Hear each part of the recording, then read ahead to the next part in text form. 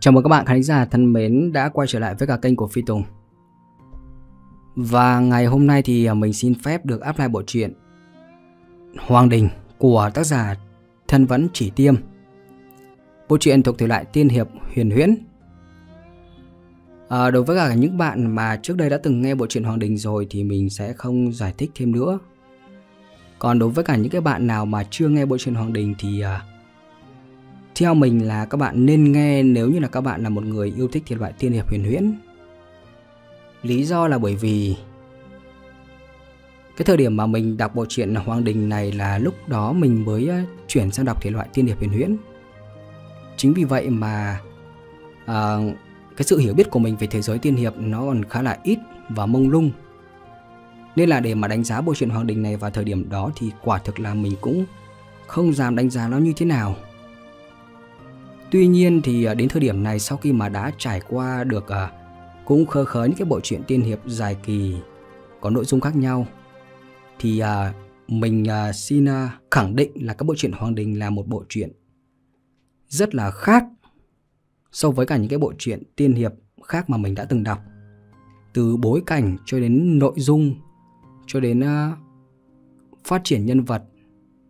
Nói chung là rất là đặc biệt còn khác như thế nào thì thực sự là mình cũng không biết nói như thế nào nữa. Cái này thì để cho các bạn tự nghe thì à, cảm nhận thì sẽ rõ nhất. Nhưng chắc chắn là nó sẽ khác so với cả những cái bộ truyện tiên hiệp khác mà các bạn đã từng nghe. Ban đầu thì mình dự tính là sẽ đọc cái đoạn giới thiệu chuyện để cho những các bạn nào mà chưa nghe bộ truyện này thì à, có thể à, nắm sơ qua. Tuy nhiên thì sau khi suy nghĩ thì mình nghĩ rằng là các bạn nên nghe thẳng vào chuyện thì sẽ bám sát được nội dung của bộ truyện nhất. Và không dài dòng thêm nữa thì ngay sau đây chúng ta sẽ cùng nhau đến với cả tập 1 của bộ truyện Hoàng Đình của tác giả Thân Vẫn Chỉ Tiêm, thuộc thể loại tiên hiệp, huyền huyễn. Chuyện à, được dịch bởi Hoàng Trúc, Ares, nguồn Bạch Ngọc Sách qua giọng đọc của Phi Tùng. Các bạn đừng quên ấn like và comment cảm xúc của mình sau khi nghe chuyện. Và đặc biệt là đừng quên ấn đăng ký kênh Phi Tùng để mà cập nhật những video mới nhất. Cảm ơn các bạn rất là nhiều. Và ngay sau đây thì chúng ta sẽ cùng nhau bắt đầu vào tập truyện.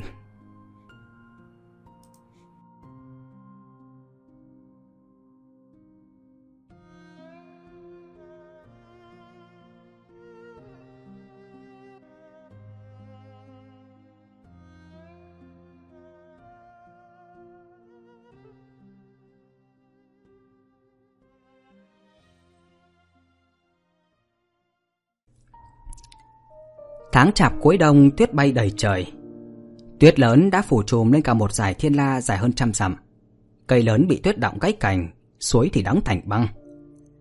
Núi Thiên La là tên gọi chung cho một vùng núi non lớn nhỏ hơn ngàn ngọn như sao răng. Ngọn trung tâm là nơi Thiên La Môn tu hành huyền môn đại đạo. Tính trong toàn bộ thiên địa, Thiên La Môn là một môn phái nhỏ, Nhưng mà trong phương viện ngàn dặm Thì đây là môn phái hàng đầu, Đã có lịch sử hơn 300 năm. Lúc lập phái thì Thiên La Tổ Sư đã lấy kiếm dẹp yên yêu linh khắp núi, chấn nhiếp ngàn dặm, được tôn làm Thiên La Tiên Quân.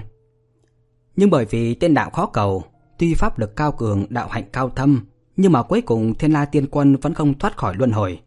Ông đã tọa hóa trong núi từ trăm năm trước. Hơn một trăm năm trôi qua, Thiên La Môn không những không còn uy thế như hồi Thiên La Tiên Quân còn sống, mà ngay cả sự trầm tĩnh an tu đạo một lòng cầu trường sinh cũng gần như đã mất.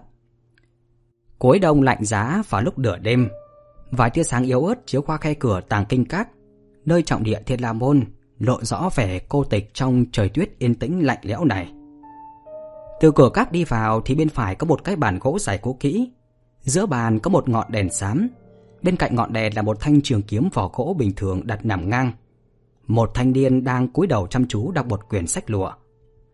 Dưới ánh đèn yếu ớt có thể thấy được trong phòng này ngoại trừ mấy hàng giá sách và sách thì chỉ có một cái bàn, một cái ghế dựa, một cái đèn, một người, toát ra cảm giác cô tịch lạnh lẽo.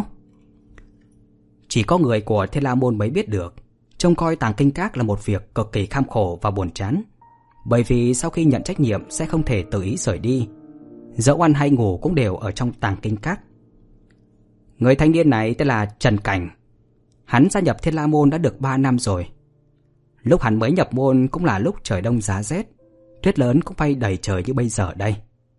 Hắn được đệ tử duy nhất của trưởng môn tiền nhiệm là Diệp Thanh Tuyết đưa về núi Thiên La, sau đó được trưởng môn thu làm đệ tử. Tuy tính là đệ tử của trưởng môn nhưng mà lại chưa từng gặp mặt người. Ngay cả phương pháp luyện khí của Thiên La Môn cũng do sư tỷ Diệp Thanh Tuyết truyền thụ. Cho dù là như thế nhưng mà những đệ tử nhập môn lâu hơn cũng không có một ai khinh khi hay là vô lễ với hắn.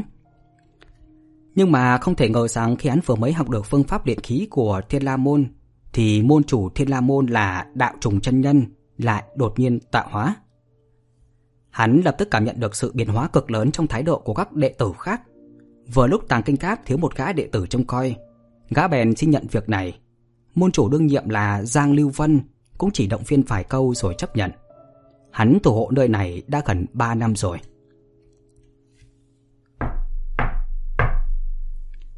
Tiếng gõ cửa với nhịp điệu không nhanh không chậm vang lên. Nó thể hiện sự trầm ổn của người gõ cửa, không nóng phổi không gấp gáp. Trần Cảnh khẽ khao mày, nhẹ nhàng cầm thanh kiếm dựng vào góc khuất của chân bàn. Hắn không lập tức đứng dậy mà mở miệng hỏi. Ai đó? Trần Cảnh sư đệ, là ta, Huyền Đồng đây. Từ ngoài cửa truyền vào một giọng nói điểm đạm, giọng nói cũng như tên rất là điểm đạm. À, Huyền Đồng sư huynh đó ư? Trần Cảnh đáp rồi đứng dậy đi ra mở cửa. Đứng ngoài cửa là một công tử mặc áo gấm, nhác trông rất là ấm áp như ngọc.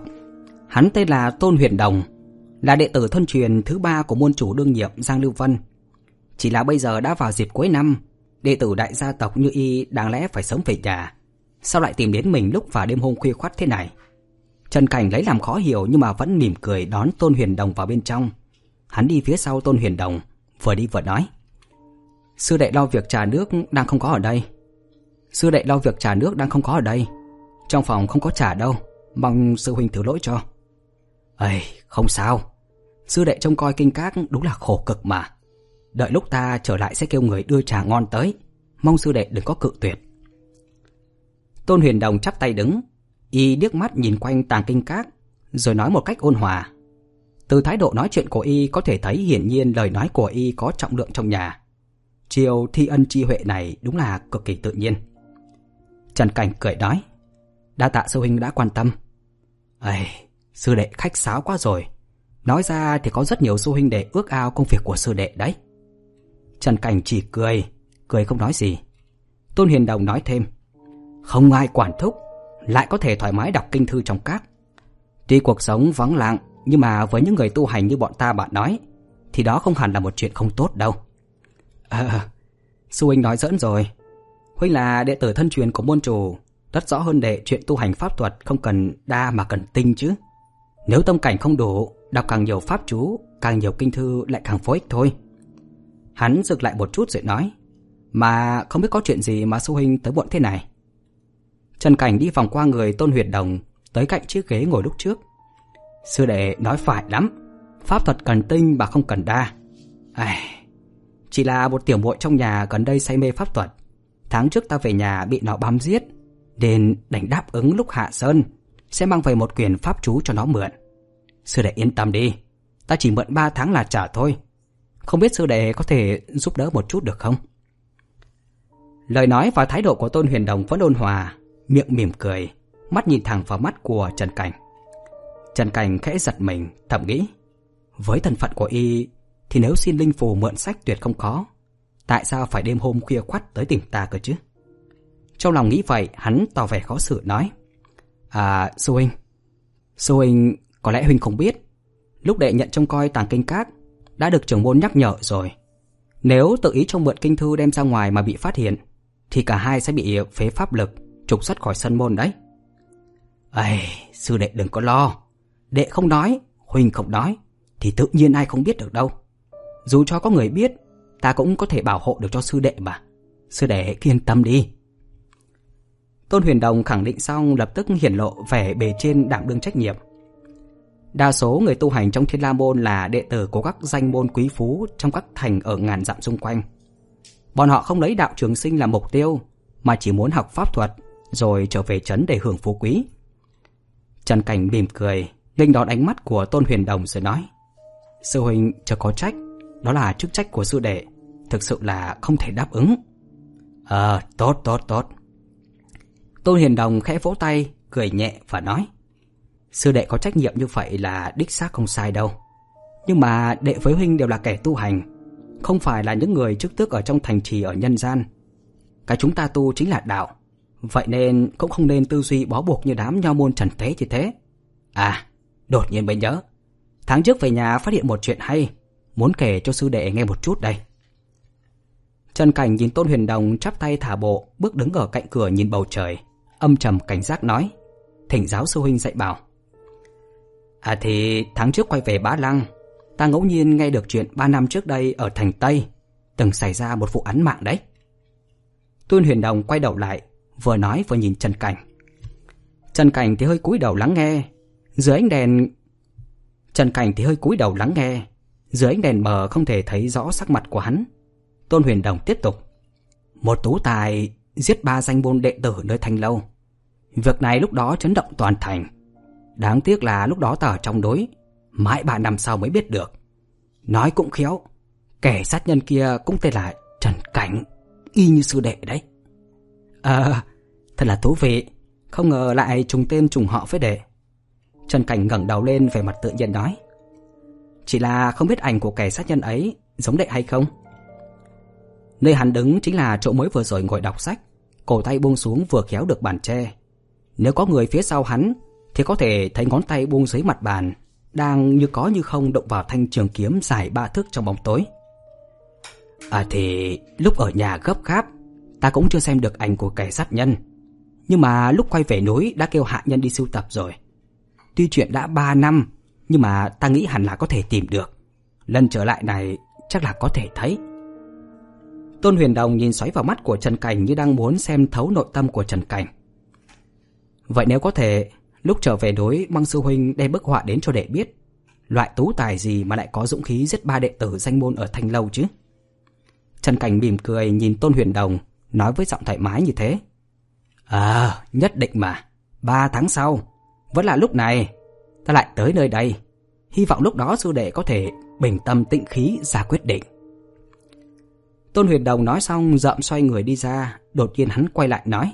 À đúng rồi, nghe nói kẻ cung cấp tin tức, được ba nhà kia mỗi nhà thường cho một bảo vật thông linh đấy. Nói xong hắn giữ nguyên tư thế lùi về phía sau, lui đến cạnh cửa mới xoay người rời đi, giống như là sợ lúc xoay người sẽ bị Trần Cảnh đâm một kiếm xuyên lưng vậy. Đúng là trong một sát na thì Trần Cảnh đã có ý định đâm ra một kiếm, bởi vì ba gã danh môn đệ tử kia chính là do hắn giết. Ba năm trước, sau khi giết ba danh môn đệ tử, hắn cũng bị truy sát. Nếu không có Diệp Thanh Tuyết giải cứu, thì bây giờ đã thành một đống xương khô rồi. Nhưng mà hắn chưa từng hối hận về việc làm ra những chuyện như vậy.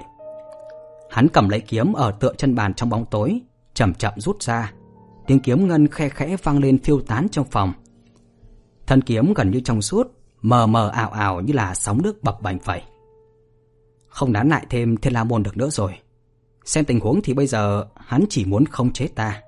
Như vậy vô luận thế nào cũng phải rời đi ngay thôi, mà đi càng nhanh càng tốt.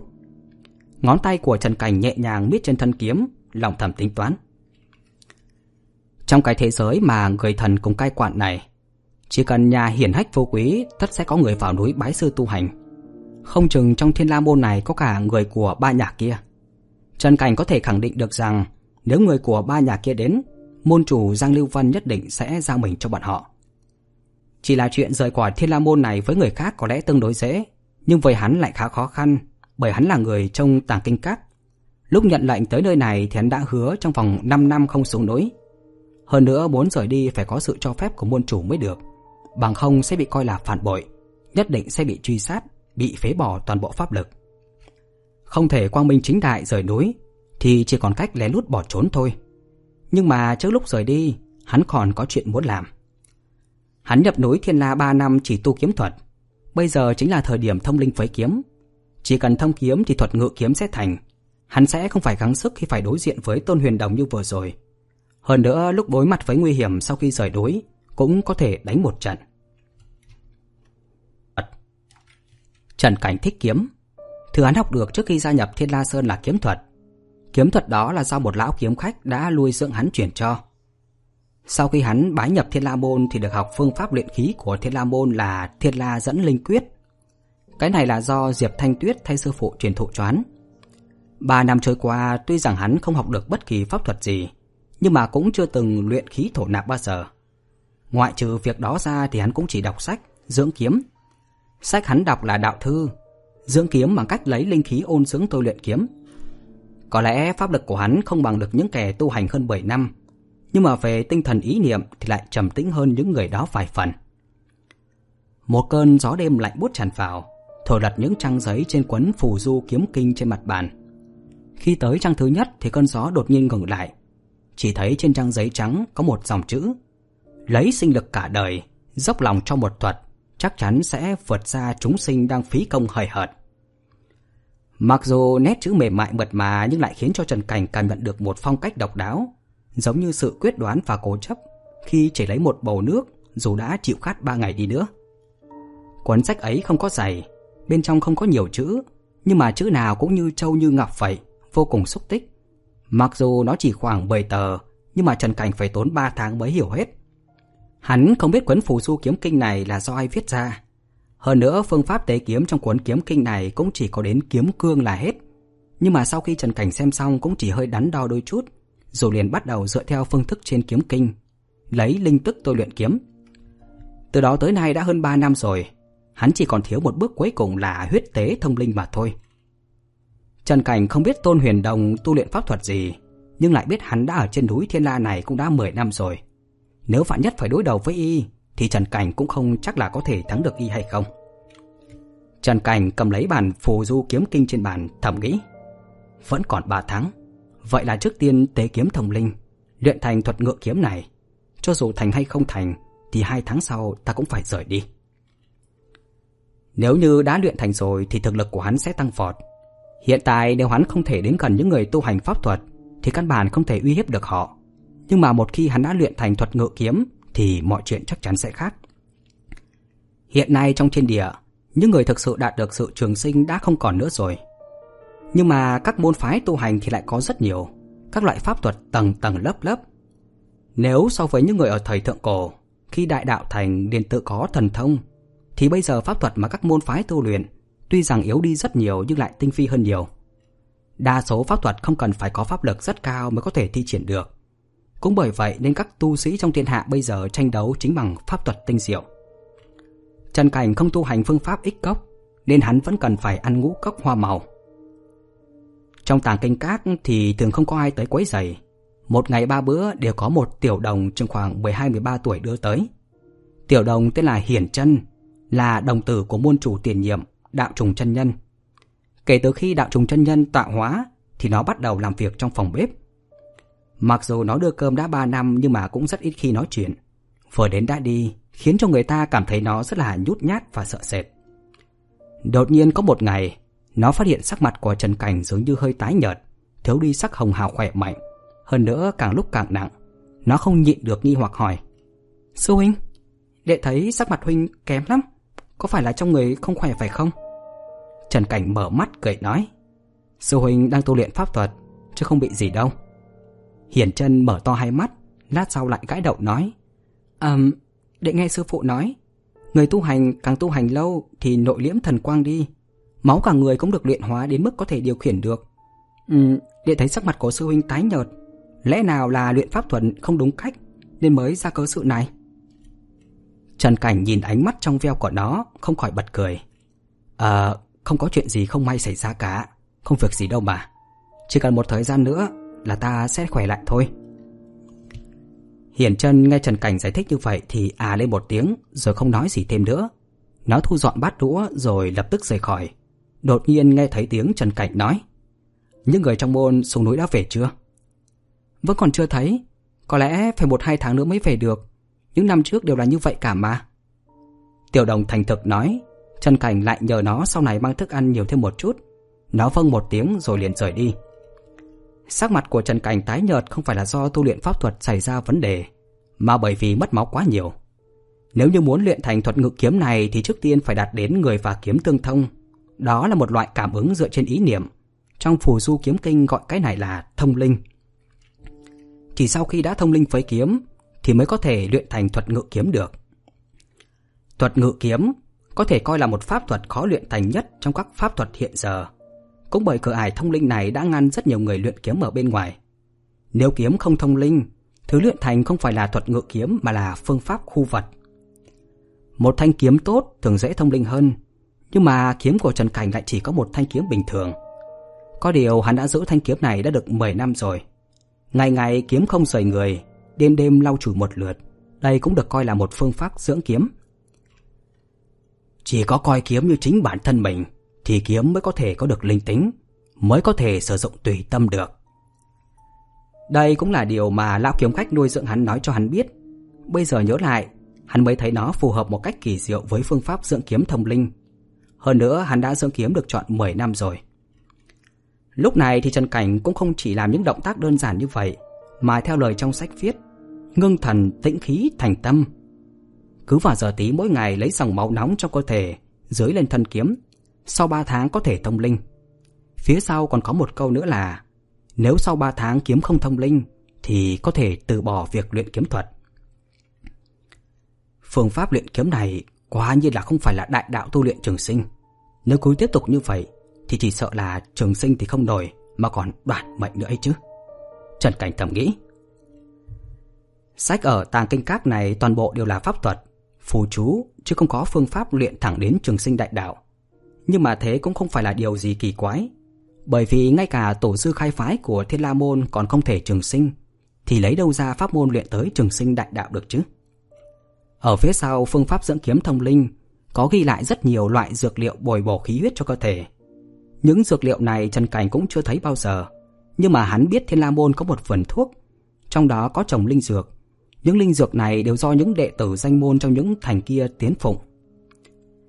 Sắc trời dần tối, đêm càng lúc càng gần. Giờ tí. Dưới một cây đèn nhỏ cô liêu bên trong tàng kinh cát, Trần Cảnh đang nhắm mắt. Bàn tay được bao phủ bởi một phần sáng xanh mơn trớn lên thân kiếm, bắt đầu từ chui kiếm cho đến mũi kiếm, hết lần này tới lần khác. Hắn cứ lặp đi lặp lại động tác ấy, lấy bàn tay vuốt ve thân kiếm đó tới mấy chục lần. Tựa như trên thân kiếm có thứ gì đó không sạch sẽ, khiến hắn chỉ một mực muốn lau nó đi vậy. Vẻ mặt của hắn rất là chuyên chú, hơi thở của hắn nhẹ như không. Bất tri bất giác đã một canh giờ trôi qua, rốt cuộc hắn cũng dừng lại động tác đao kiếm cả ngàn lần như bột kia lại. Nhưng mà đột nhiên lại thấy hắn lấy lưỡi kiếm vạch lên một đường bên cổ tay trái, máu tươi ồ ạt chảy ra. Ngay sau đó thân kiếm thấm đẫm máu tươi. Mặc dù không thấy hắn có bất kỳ động tác trị thương nào, nhưng mà vết thương kia cũng không hề chảy máu nữa, mà chỉ lưu lại một vết sẹo đỏ tươi mà dữ tợn.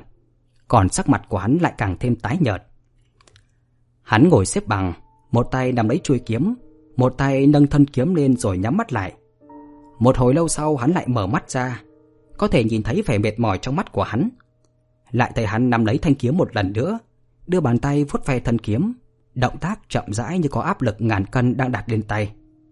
Nơi bàn tay của hắn lướt qua, máu tươi ngưng kết trên thân kiếm, hóa thành bột phấn mà rơi xuống. Có điều vẫn có thể mơ hồ nhìn thấy trên thân kiếm kia có lẫn những chấm đỏ sậm nhỏ li ti, mà nhìn kỹ lại đến có thể thấy từng vệt hồng bột.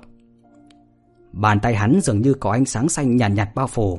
Khi lao lên thân kiếm, có một làn sương khói như có như không, cùng lúc bốc lên từ cả tay hắn và thân kiếm. Sau vài chục lần như vậy, những vệt máu hồng và những chấm đỏ sậm đều biến mất hết. Trên thân kiếm như có một dòng suối xanh đang chảy không ngừng, ẩn chứa sự cuốn hút vô ngần. Trần Cảnh tra lại kiếm vào vỏ. Sau khi đã tạo một canh giờ thì tối tắt ngọn đèn trên bàn. Trong phòng tức thì trở nên tối âm. Một cơn gió nhẹ thổi khẽ vào phòng, cửa mở ra rồi. Đêm đen, không trăng không sao. Mà nên đem kiệt trong mắt của Trần Cảnh vẫn sáng như ban ngày.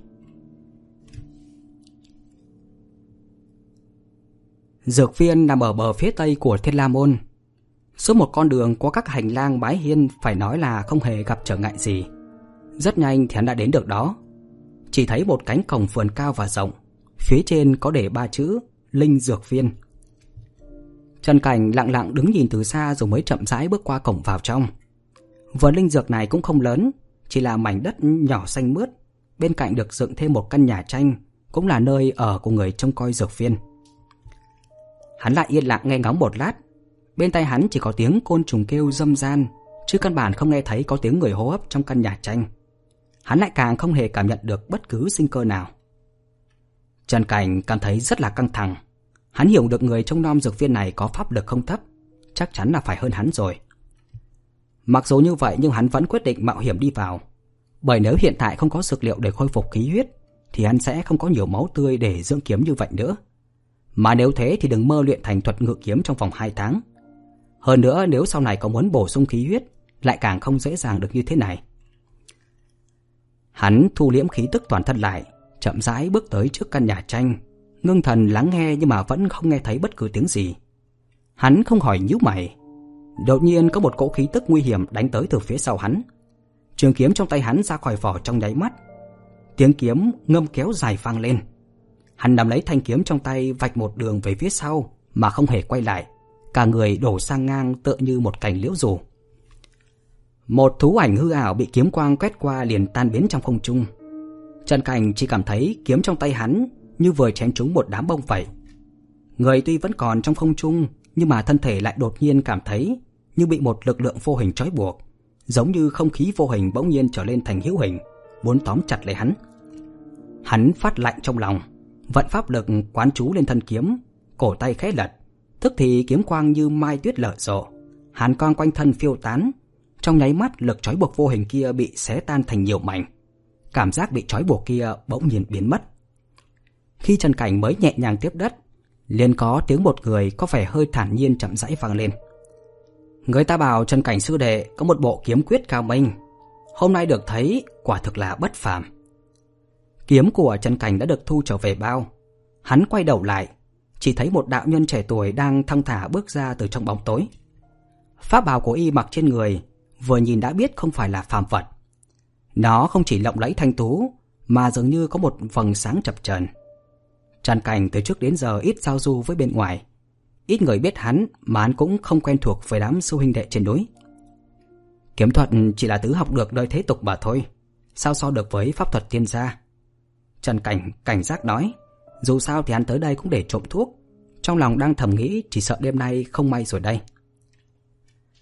Đạo nhân này không giống người tu đạo mà lại có bộ dạng như một công tử nhà giàu. Y bước từng bước thong thả đến cách Trần Cảnh khoảng 20 bước thì ngược lại, không hề tiến thêm nữa.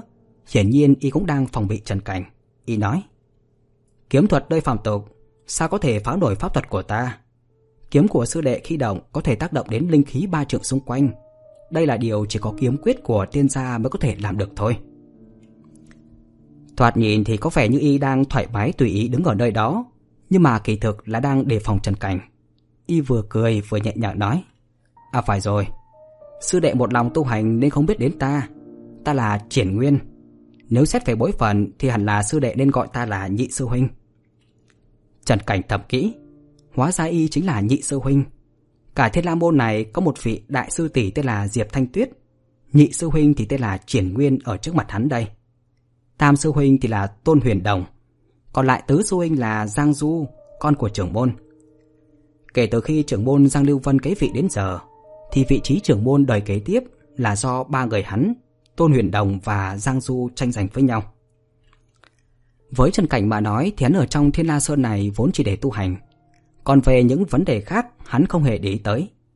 Hiện giờ hắn thấy thời gian có thể khiến cho tất thảy mọi sự trên thế gian trở nên âm u thất sắc. Người mạnh như Thiên La Tổ Sư dùng một kiếm đã giết chết yêu linh khắp núi, uy hiếp cả ngàn dặm, nhưng mà giờ này cũng chỉ là một đống cho tàn mà thôi. À, hóa ra là nhị sư huynh. Trần Cảnh đưa tay lên hành lễ. À, Triển Nguyên bước đến hai bước cười nói. Ta thấy sắc mặt sư đệ tái nhợt, hẳn là đang hao tổn huyết khí nghiêm trọng. Ngươi tới nơi này để lấy linh dược có phải không? Không đợi Trần Cảnh trả lời y đã phủ đầu rồi. Không biết sư đệ có lệnh phù của trưởng môn không? Trần Cảnh biến sắc, chỉ trần chờ trong thoáng chốc, nhưng mà Triển Nguyên đã cười nói. À, nếu sư đệ không có, thì ta đành đắc tội vậy. Y nhìn chằm chằm vào Trần Cảnh, vừa nói dứt lời đã nhấc tay lên. Trong tích tắc, khi lòng bàn tay Y nhấc lên thì đã có một dòng linh khí ngưng kết lại. Trong linh khí thì mơ hồ có thể thấy ngọn lửa bùng lên. Lúc này thì Trần Cảnh không còn gì để nói, Huống hồ hắn cũng không còn tiện phản bác lại. Hắn cũng đã nghĩ đến hậu quả nếu như bị phát hiện.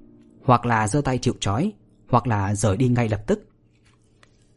Trần Cảnh không có thói quen giao vận mệnh vào tay người khác, nên hắn không thể nào bó tay chịu trói được. Song nếu muốn rời đi thì phải qua được cửa của nhị sư huynh triển nguyên đang ở trước mặt này. Bàn tay của hắn nắm chặt lấy vỏ kiếm, khí thế tăng lên.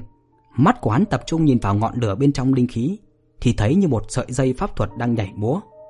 Bóng tối cũng dường như đang ngưng kết lại, gió đêm lạnh lẽo tiêu điều. Đột nhiên có tiếng con gái vang lên, Trần Cảnh và Triển Nguyên đều không biết có người đã đến gần. Là ta bảo Trần Cảnh sư đệ tới đây.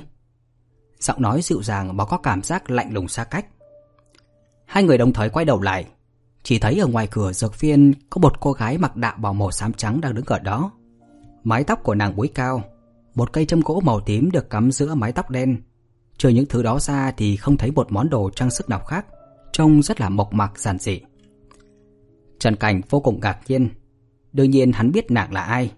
Nàng chính là Diệp Thanh Tuyết, đại sư tỷ của Thiên La Môn. Có thể nói là là đệ tử duy nhất của cố trưởng môn, còn Trần Cảnh chỉ là hữu danh vô thực mà thôi. À, hóa ra là Diệp sư tỷ bảo Trần sư đệ tới. Ngọn lửa linh khí trên tay của Triển Nguyên tán đi. Hắn nói xong liền quay về phía Trần Cảnh. Sao sư đệ không nói sớm? Ê, sư đệ cần thuốc gì thì cứ tự nhiên mà lấy đi. Y mỉm cười cực kỳ hòa nhã. Phải nói là thay đổi thái độ cực nhanh như chưa hề xảy ra chuyện gì cả. Trần Cảnh cảm thấy hắn rất giống với Tôn Huyền Đồng. Cũng có thể nói là con em của các gia tộc lớn đều cùng một dạng. Bề ngoài thì ôn hòa nhã nhặn, bên trong thì luôn tính toán mục đích riêng. Trần Cảnh không động, cũng không nói gì. Diệp Thanh Tuyết bước tới nói. Triển sư đệ, trong năm dược viên lâu thế này thật là vất vả. Từ hôm nay trở đi, phần linh dược này để cho ta chăm sóc đi. Tuy giọng nói của nàng rất là ôn nhu dịu dàng, trong veo như nước suối nhưng lại không có vẻ gì gọi là có thể thương lượng. À, chuyện này, Diệp sư tỷ, nhưng tỷ có lệnh phù của trưởng môn hay không? Triển Nguyên hỏi vặn. Nếu muốn, thì ngươi có thể đi hỏi trưởng môn sư thúc. Diệp Thanh Tuyết nói. Triển Nguyên trầm tư chốc lát rồi cười nói. À, đã vậy thì Triển Nguyên cáo lui. Y nói xong liền bỏ đi luôn, lúc đi còn quay lại cười với Trần Cảnh. Trong nháy mắt thì ở đây chỉ còn Trần Cảnh cùng với Diệp Thanh Tuyết. Côn trùng trong bụi cỏ lại bắt đầu kêu vang, trên bầu trời cũng có phải ngôi sao ảm đạm đi. Khi tế kiếm thì phần hao tổn nhất là tâm lực đấy. Rất nhiều người có thiên tư chắc tuyệt yêu thích kiếm thuật, nhưng mà cho dù lao lực bao nhiêu năm tháng thì cuối cùng vẫn cứ hóa thành một nắm đất phả thôi. Để hãy tự lo cho mình đi. Diệp Thanh Tuyết nói xong liền tung mình bay lên một nắp ngôi nhà cỏ rồi khoanh chân ngồi xuống. Rõ ràng đã không còn để tới Trần Cảnh nữa. Đối với Trần Cảnh thì Diệp Thanh Tuyết không chỉ là sư tỷ mà còn là một nửa sư phụ, ân nhân cứu mạng nữa. Cảm ơn sư tỷ. Trần Cảnh cảm ơn rồi muốn nói thêm. Sư tỷ, vậy Triển Nguyên sư huynh thì Trần Cảnh ngẩng đầu nhìn Diệp Thanh Tuyết, vốn đã không còn chú ý đến hắn, thì thấy nàng không phản ứng gì. Dù sao hắn định rời khỏi núi Thiên La, nên bấy giờ cứ tùy ý hái những linh dược trong dược viên đã. Đệ không cần quan tâm những cái đó đâu, nhanh chóng luyện thành thuật ngự kiếm đi, thế thì mới có năng lực tự bảo vệ mình. Diệp Thanh Tuyết nhắm mắt rồi nhẹ nhàng nói. Hắn cũng không hỏi tại sao nàng biết mình đang luyện kiếm thuật. Trước nay hắn đều không nhiều lời, nhưng lại là một con người thông minh. Chỉ cần nghĩ kỹ lại việc vừa rồi thì có thể biết rằng đây chính là do triển nguyên ban ơn một lần. Y sẽ không đi hỏi trưởng môn, mà cho dù có đi hỏi thì cũng không thể làm gì được Diệp Thanh Tuyết. Có rất nhiều người nói pháp lực của Diệp Thanh Tuyết đã không giới trưởng môn. Ở Thiên La Môn này địa vị của Diệp Thanh Tuyết hơi khác biệt, không giống với những đệ tử thông thường. Trong mắt người khác thì Trần Cảnh chính là người bên phe của Diệp Thanh Tuyết. Ai nắm được Trần Cảnh cũng đồng nghĩa với việc có thể kiềm chế được Diệp Thanh Tuyết. Sẽ cực kỳ có lợi đối với việc tranh đoạt vị trí trưởng môn sau này của kẻ đó. Đây cũng chính là nguyên nhân mà vừa rồi Triển Nguyên nói nhiều như vậy, nhưng mà cuối cùng cũng không ra tay. Trần Cảnh biết rằng nếu như lúc nãy mình mở miệng xin tha thì hắn nhất định sẽ để cho mình vào hái thuốc. Chẳng qua từ nay về sau sẽ bị hắn nắm thóp mà thôi. Có thể khẳng định Triển Nguyên sẽ rất thỏa mãn với kết quả như thế. Những việc mà Trần Cảnh nhìn thấy ở Thiên La Môn thực ra đều trở là việc tranh đấu quyền thế của thế tục. Hoàn toàn không có một chút đặc điểm nào của một môn phái thần tiên siêu phàm. Đây cũng là một trong những nguyên nhân khiến hắn muốn rời đi mà không muốn lưu luyến một chút nào. Trong vòng một tháng sau đó thì Trần Cảnh cứ lấy máu dưỡng kiếm xong thì liền tới dược viên để hái thuốc. Các loại linh dược ở đây đều mặc cho hắn hái. Mỗi lần hắn đến đều nhìn thấy nàng ngồi trên đỉnh nhà tranh luyện khí thổ nạp, dường như chưa hề rời khỏi nơi đó. Lúc này thì đa số mọi người trong Thiên La Môn đều đã xuống núi, phải hết Tết thì mới quay lại. Trên núi ngoại trừ môn chủ đang bế quan thì cũng chỉ có một phần rất ít người ở lại. Đa số là trưởng lão cũng được con cháu đón về nhà. Sự yên lặng trong Thiên La Môn giống như sự yên lặng trước cơn rông bão vậy. Hai mươi ngày sau, Trần Cảnh vẫn dùng máu để tế luyện kiếm. Hắn đang ngưng thần, tĩnh tâm, tập trung tư tưởng để thông linh với thanh kiếm trong tay. Đột nhiên hắn cảm giác được thanh trường kiếm trong tay mình có một sự thay đổi. Nó không còn lạnh lẽo như trước kia nữa. Hắn còn mơ hồ cảm giác được một mối liên hệ rất là kỳ diệu. Mặc dù không thể nói rõ nhưng mà lại cảm thấy rất là thật. Thân kiếm hơi rung lên giống như là một con bướm dây rụa để phá kén ra ngoài bay lượn. Trần Cảnh biết đây chính là dấu hiệu thông linh. Chỉ đến lúc kiếm để người tùy ý dẫn động thì mới có thể bắt đầu luyện thuật ngự kiếm. Trong một khu nhà cao cổng kín tường ở thành Bá Lăng cách núi Thiên La hơn 300 dặm, Tôn Huyền Đồng đang ngồi trên một chiếc ghế da cáo. Y đang xem một bức tranh trên tay. Trong bức tranh là một thư sinh trẻ tuổi. Bên cạnh hắn có một thiếu nữ đang ngồi nép vào chiếc ghế dựa có tay vịn. Thiếu nữ mặc chiếc áo màu da kiều màu hồng. Nàng chu cái miệng nho nhỏ xinh xinh nhìn bức tranh trong tay của Tôn Huyền Đồng. Nàng chính là em gái của Tôn Huyền Đồng, Tôn Huyền Ngọc. Chỉ nghe thấy nàng nhõng nhẽo nói rằng Ca ca, chính thế này không cho ca ca mượn đem sách ra ngoài có phải không? Nhìn thì thấy nho nhã lịch sự. Không ngờ lại rất to gan đó nha. Người ta không chỉ to gan, Còn rất là tàn nhẫn đấy chứ. Một lần giết ba người, Làm cái việc mà ca ca của muội một mực muốn làm Nhưng mà không dám đây. Muội nói hắn nhã nhặn ư. Điều này thì lại nhầm to rồi.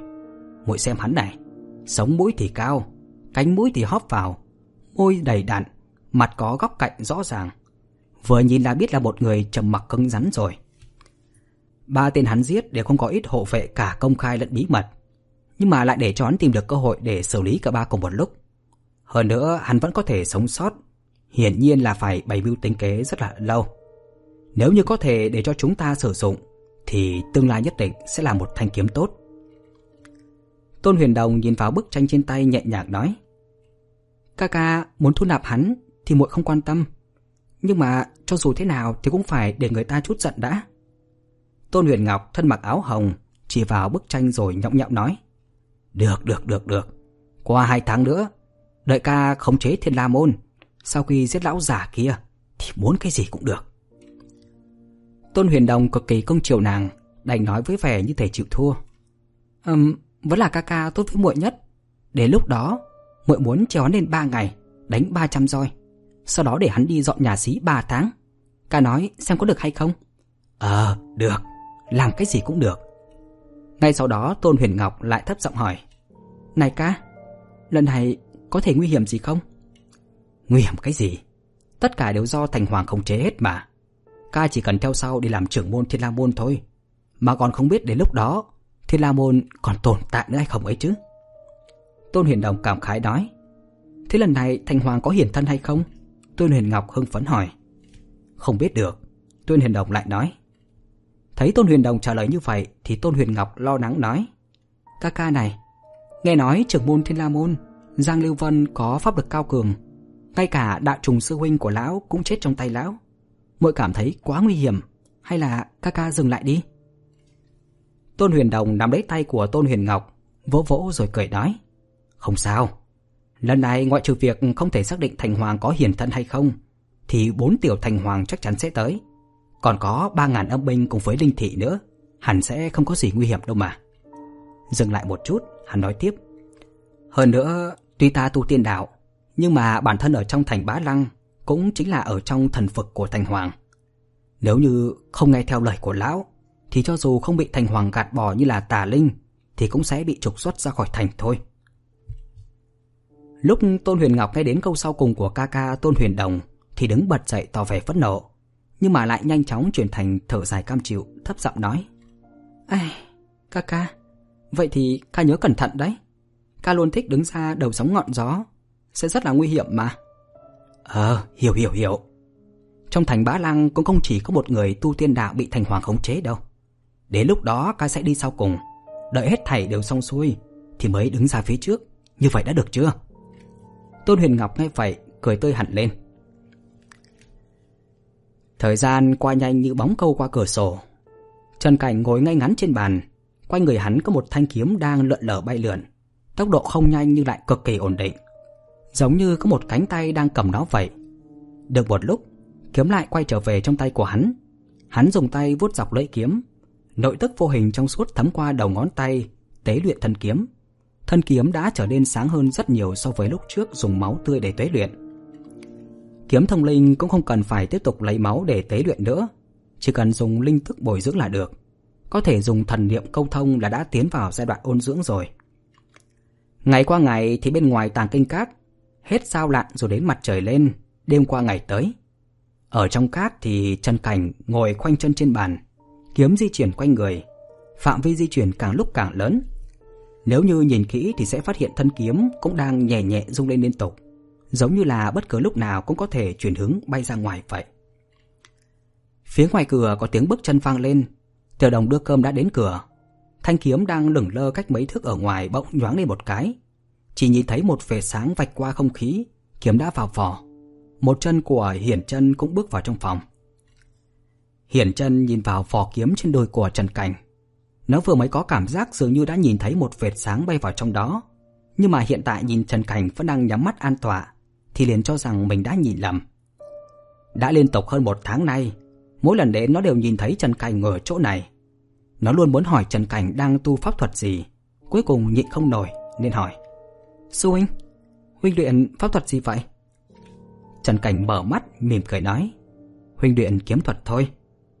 Nó dạ một tiếng rồi đặt thức ăn xuống. Nó mới chỉ có 10 tuổi, cũng chưa biết cái gì gọi là kiếm thuật. Nó dọn cơm cho Trần Cảnh xong rồi thu chén bắt cũ lại. Khi nó định rời đi thì Trần Cảnh lại đột nhiên nhíu mày hỏi. À Hiển chân tay của đệ bị làm sao vậy? Hiển chân ngẩng đầu lên cười nói. Là bị Minh Tính Sư Huynh đánh đấy. Nụ cười của nó rất là thuần khiết, không hề có một chút oán hận nào trong đó. Cũng không phải là nó cố ý giơ tay ra cho Trần Cảnh xem, chỉ vì Trần Cảnh thấy ở trên mu bàn tay của nó có vài vết thâm tín nên mới buột miệng hỏi như thế. Nghe Hiển chân trả lời, Trần Cảnh nhíu lông mày vươn tay nắm lấy tay của Minh Tâm. Minh Tâm là pháp danh của Hiển chân. Vén tay áo của nó lên thì thấy trên đó chẳng chịt những vết đỏ, xen lẫn tím. Có cái còn mới, có cái cũng sắp hỏi. Lửa giận trong lòng bốc lên, hắn nhẹ giọng nói. Tại sao hắn lại đánh đệ như vậy? Minh tính sư huynh nói đệ làm sai, phải chịu phạt. Giọng của Hiển chân rất là non nớt, giống như đang nói một việc không liên quan gì tới mình. Mắt nó trong veo, không nhiễm một chút bụi trần nào. Trần Cảnh cực kỳ khó chịu, thầm nghĩ. Chỉ là một đứa trẻ con, cho dù có làm gì đi chăng nữa, thì cũng không nên đối xử với nó như thế này chứ. Nhìn những vết thương mới xen lẫn thương cũ này, chắc chắn không phải chỉ một hai lần. Hắn cũng không biết Minh Tính là ai, lập tức hỏi. Minh Tính là đệ tử của ai? Minh Tính là đệ tử của trưởng môn sơ thúc, là tổng quản nhà bếp. Hiền Trần đáp. Vậy hắn nói đệ phạm lỗi gì? Hiển chân cúi đầu suy nghĩ trong chốc lát, sau đó thấp giọng nói. Đệ, đệ cũng không biết là phạm lỗi gì. Lúc nhóm lửa cũng có lỗi, đun nước cũng có bị, trẻ củi cũng bị, ừ, bưng nước pha trà cũng bị. Nói đến đây nó đột nhiên ngẩng đầu lên, chớp chớp mắt nói. Sư huynh, có phải đệ rất cốc hay không? Nó không nghe thấy Trần Cảnh trả lời, bởi vì Trần Cảnh chậm chậm nhắm mắt lại. Hắn sợ Hiển Chân nhìn thấy lửa giận trong mắt mình mà sợ hãi. Hiển Chân thì lại khó hiểu tại sao sư huynh đột nhiên nhắm mắt lại. Qua một lúc sau thì Trần Cảnh mới mở mắt ra, nắm lấy bàn tay nhỏ mềm yếu nhưng lại đầy vết thương của Hiển Chân. Hắn chỉ vào mấy vết thương còn mới, hỏi rằng: "Mấy chỗ này là vừa mới bị đánh, tại sao vậy?"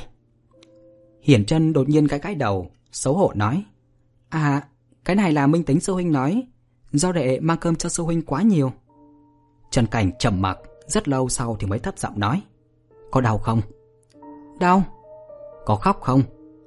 Buổi tối đệ trốn vào trong chăn khóc, không có ai thấy đâu mà. Hiển chân ngước đầu lên cười dường như rất là đắc ý về sự thông minh của mình. Nụ cười kia giống như những đóa hoa dại nở ven đường giữa tháng 3, rung rinh trong làn gió nhẹ. Trần Cảnh chỉ cảm thấy nụ cười của nó quá là chói mắt. Kiềm lòng không đặng bèn tránh đi. Chốc lát sau lại hỏi. Nếu... Huynh nói là nếu nhé. Để có cơ hội rời khỏi nơi này, đệ có muốn đi không? Hiển chân suy nghĩ một chút rồi đáp giòn tan. Có. Nếu nó đã muốn như vậy, Trần Cảnh cũng không nói gì thêm nữa, bèn bảo nó về. Cũng không bảo nó chuẩn bị gì cả. Hắn sợ rằng một hành động sơ suất nào đó sẽ khiến cho cái tên minh tính kia phát hiện ra điều gì đó. Bóng đêm dần phủ xuống, mảnh trăng tàn cong như lưỡi câu. Trần Cảnh đi vào vườn thuốc, ngắm Diệp Thanh Tuyết đang ngồi trên căn nhà cỏ dưới ánh trăng sao. Trong mắt của Trần Cảnh thì Diệp Thanh Tuyết là một tu hành giả thật sự. Trong cả thiết la môn này chỉ có mỗi nàng ấy là một lòng hướng đạo. Trần Cảnh rút ra quan điểm này cũng không liên quan gì đến lòng mến mộ do nàng đã từng cứu hắn, mà hoàn toàn bởi cách cư xử của nàng. Một lúc lâu sau thì Diệp Thanh Tuyết mới thu công, ngó qua Trần Cảnh hỏi. Đệ muốn rời khỏi đây sao? Ừm, um, hôm nay đệ đến là để từ biệt sư tỷ. Mấy ngày nữa đệ sẽ rời khỏi Thiên La Sơn. Trần Cảnh đáp. Theo lẽ thường thì một khi đệ đã gia nhập Thiên La Môn thì mọi ân oán trong quá khứ sẽ đều do Thiên La Môn gánh phát. Nhưng Thiên La Môn của hiện tại đã không còn là Thiên La Môn khi tổ sư còn tại thế nữa. Đã không còn sức để che chở cho đệ tử trong môn. Đệ đi cũng tốt, đi cũng tốt mà. Hãy đi luôn trong hôm nay đi. Diệp Thanh Tuyết ngồi trên căn nhà cỏ, ngoảnh mặt về phía Trần Cảnh nói. Nàng nói liền hai câu đi cũng tốt, đồng thời bảo Trần Cảnh đi ngay trong hôm nay, khiến cho hắn có cảm giác sau khi mình đi rồi thì sẽ xảy ra một chuyện gì đó. Hắn tính hỏi Diệp Thanh Tuyết có phải nàng đã phát hiện ra chuyện gì rồi không, nhưng mà cuối cùng vẫn không mở miệng. Trong Thiên La Môn có lời đồn rằng pháp lực của Diệp Thanh Tuyết không dưới trưởng môn. Nếu thật sự xảy ra chuyện gì, thì Trần Cảnh nên lo lắng cho chính mình mới đúng. Vì vậy hắn không hỏi. Để tu luyện kiếm thuật, khi kiếm cương chưa thành, kỵ nhất là tranh đấu với người khác. Cho dù là bất đắc sĩ thì cũng phải hết sức cẩn thận, đừng để kẻ khác phấy bẩn linh tính của kiếm. Diệp Thanh Tuyết dặn dò. Trần Cảnh được xem như là đệ tử hệ kiếm pháp cố trưởng môn, nhưng mà phương pháp luyện khí của hắn lại do Diệp Thanh Tuyết chỉ dạy. Về mặt ý nghĩ nào đó thì Diệp Thanh Tuyết được xem là sư phụ hữu thực vô danh của hắn. Có điều trong thiên địa chuyện thay thầy truyền pháp không phải là hiếm, thế nên Trần Cảnh vẫn gọi Diệp Thanh Tuyết là sư tỷ. Diệp Thanh Tuyết không hề tán thành Trần Cảnh luyện kiếm thuật. Mặc dù pháp thuật hay kiếm thuật đều tùy ở người dùng mà sinh ra uy lực khác nhau, nhưng mà kiếm thuật quá là tầm thường. Tầm thường đến độ chỉ những nhân tài cố chấp gửi gắm sinh mạng mình vào kiếm mới có thể tu luyện nó. Dạ, sư tỷ. Sau khi đi rồi, đệ sẽ chọn một nơi yên vắng mà tĩnh tâm tu hành, quyết không tranh đấu với người ta đâu. Hông đeo một thanh trường kiếm bao gỗ, Trần Cảnh đứng dưới ánh sao trời ngước nhìn Diệp Thanh Tuyết đang ngồi ngay trên nhà cỏ nói. Diệp Thanh Tuyết thở dài rồi nói. Ai... Trên đời có chỗ nào mà yên vắng chứ? Bản thân nhớ thật kỹ là không được tranh đấu với người ta là được rồi. Đệ đi đi. Đừng quên mình là đệ tử của Thiên La Môn đó. Nàng nói rồi lấy từ trong người ra một viên ngọc màu xanh, hình dạng như một giọt nước. Trên bề mặt khắc một ngọn núi rất nhỏ. Nếu Trần Cảnh có thể bay vút lên 9 tầng trời mà nhìn xuống, thì sẽ phát hiện ra rằng được khắc trên bề mặt của nó chính là dãy thiên la. Ngọc xanh hóa thành một tia sáng lấp lánh bắn về phía Trần Cảnh. Hắn đặt tay đón lấy, cầm vào cảm thấy ấm áp. Nó vẫn còn mang theo hơi ấm trên người của Diệp Thanh Tuyết. Nó là ngọc tùy thân của đệ tử Thiên La Môn, vốn cho sư phụ ban cho. Hiện tại đệ sắp hạ sơn rồi, vừa dịp cho đệ vậy. Diệp Thanh Tuyết vẫn một bộ đạo bào màu xanh, tóc vấn kiểu đạo sĩ, cài nghiêng một cây châm gỗ. Hình dạng cây châm giống như là một cây kiếm nhỏ bằng gỗ. Lần đầu Trần Cảnh thấy nó là khi nó được cài trong mũ búi tóc của trưởng môn. Sau khi ông ta tạo hóa, cây châm hình kiếm đó liền xuất hiện trên đầu của Diệp Thanh Tuyết. Trần Cảnh cất kỹ viên ngọc tùy thân tượng trưng cho đệ tử Thiên La vào người. Lại nghe Diệp Thanh Tuyết nói tiếp. Nếu như có một ngày có đệ tử Thiên La đến cạnh nhờ đệ, hy vọng đệ có thể che chở cho bọn họ. Trần Cảnh thoáng ngẩn người đáp. Nếu có việc đó, dĩ nhiên đệ sẽ che chở. Khi nói đến hai chữ che chở, cuối cùng thì hắn cảm thấy thật là khó khăn. Bởi hắn nghĩ, chỉ có nhân tài khai tông lập phái mới có tư cách nói ra hai chữ này. Mà vừa rồi ý của Diệp Thanh Tuyết là Thiên La Môn cũng không có cách nào che chở cho đệ tử của họ. Hai chữ che chở còn khiến cho Trần Cảnh nghĩ đến thần linh. Bởi vì công việc của thần linh chính là hưởng thụ hương hòa và che chở sinh linh bột cõi. Ừm, um, tốt rồi. Vậy đệ hãy đi đi. Đi luôn trong hôm nay. Đừng theo con đường xuống núi, mà hãy đi từ trong núi ra. Diệp Thanh Tuyết nói. Nếu Trần Cảnh vẫn không cảm giác được sự bất bình thường, thì hoặc là hắn ngu ngốc, hoặc là hắn cố ý không hiểu, liền lập tức hỏi. Thiên La Môn sắp xảy ra chuyện gì có phải không? Ai... Khắp thiên địa đều đang xảy ra chuyện, đâu chỉ có Thiên La Môn. 300 năm trước, một kiếm của tổ sư đã tiêu diệt hết yêu linh trên núi, huy vang nghìn dặm. Nhưng mà người đã không liệu được chưa đầy 100 năm sau, khi người mất đi thì Thiên La Môn cũng sẽ tiêu vong. Nên có thể nói rằng bắt đầu từ cái ngày mà người mất đi, Thiên La Môn đã bước trên con đường tiêu vong rồi. Giọng nói của Diệp Thanh Tuyết vẫn không có gì thay đổi, như thể nàng đang đàm luận về chuyện không hề có quan hệ tới mình vậy. Có phải có người muốn đối phó với Thiên La Môn không?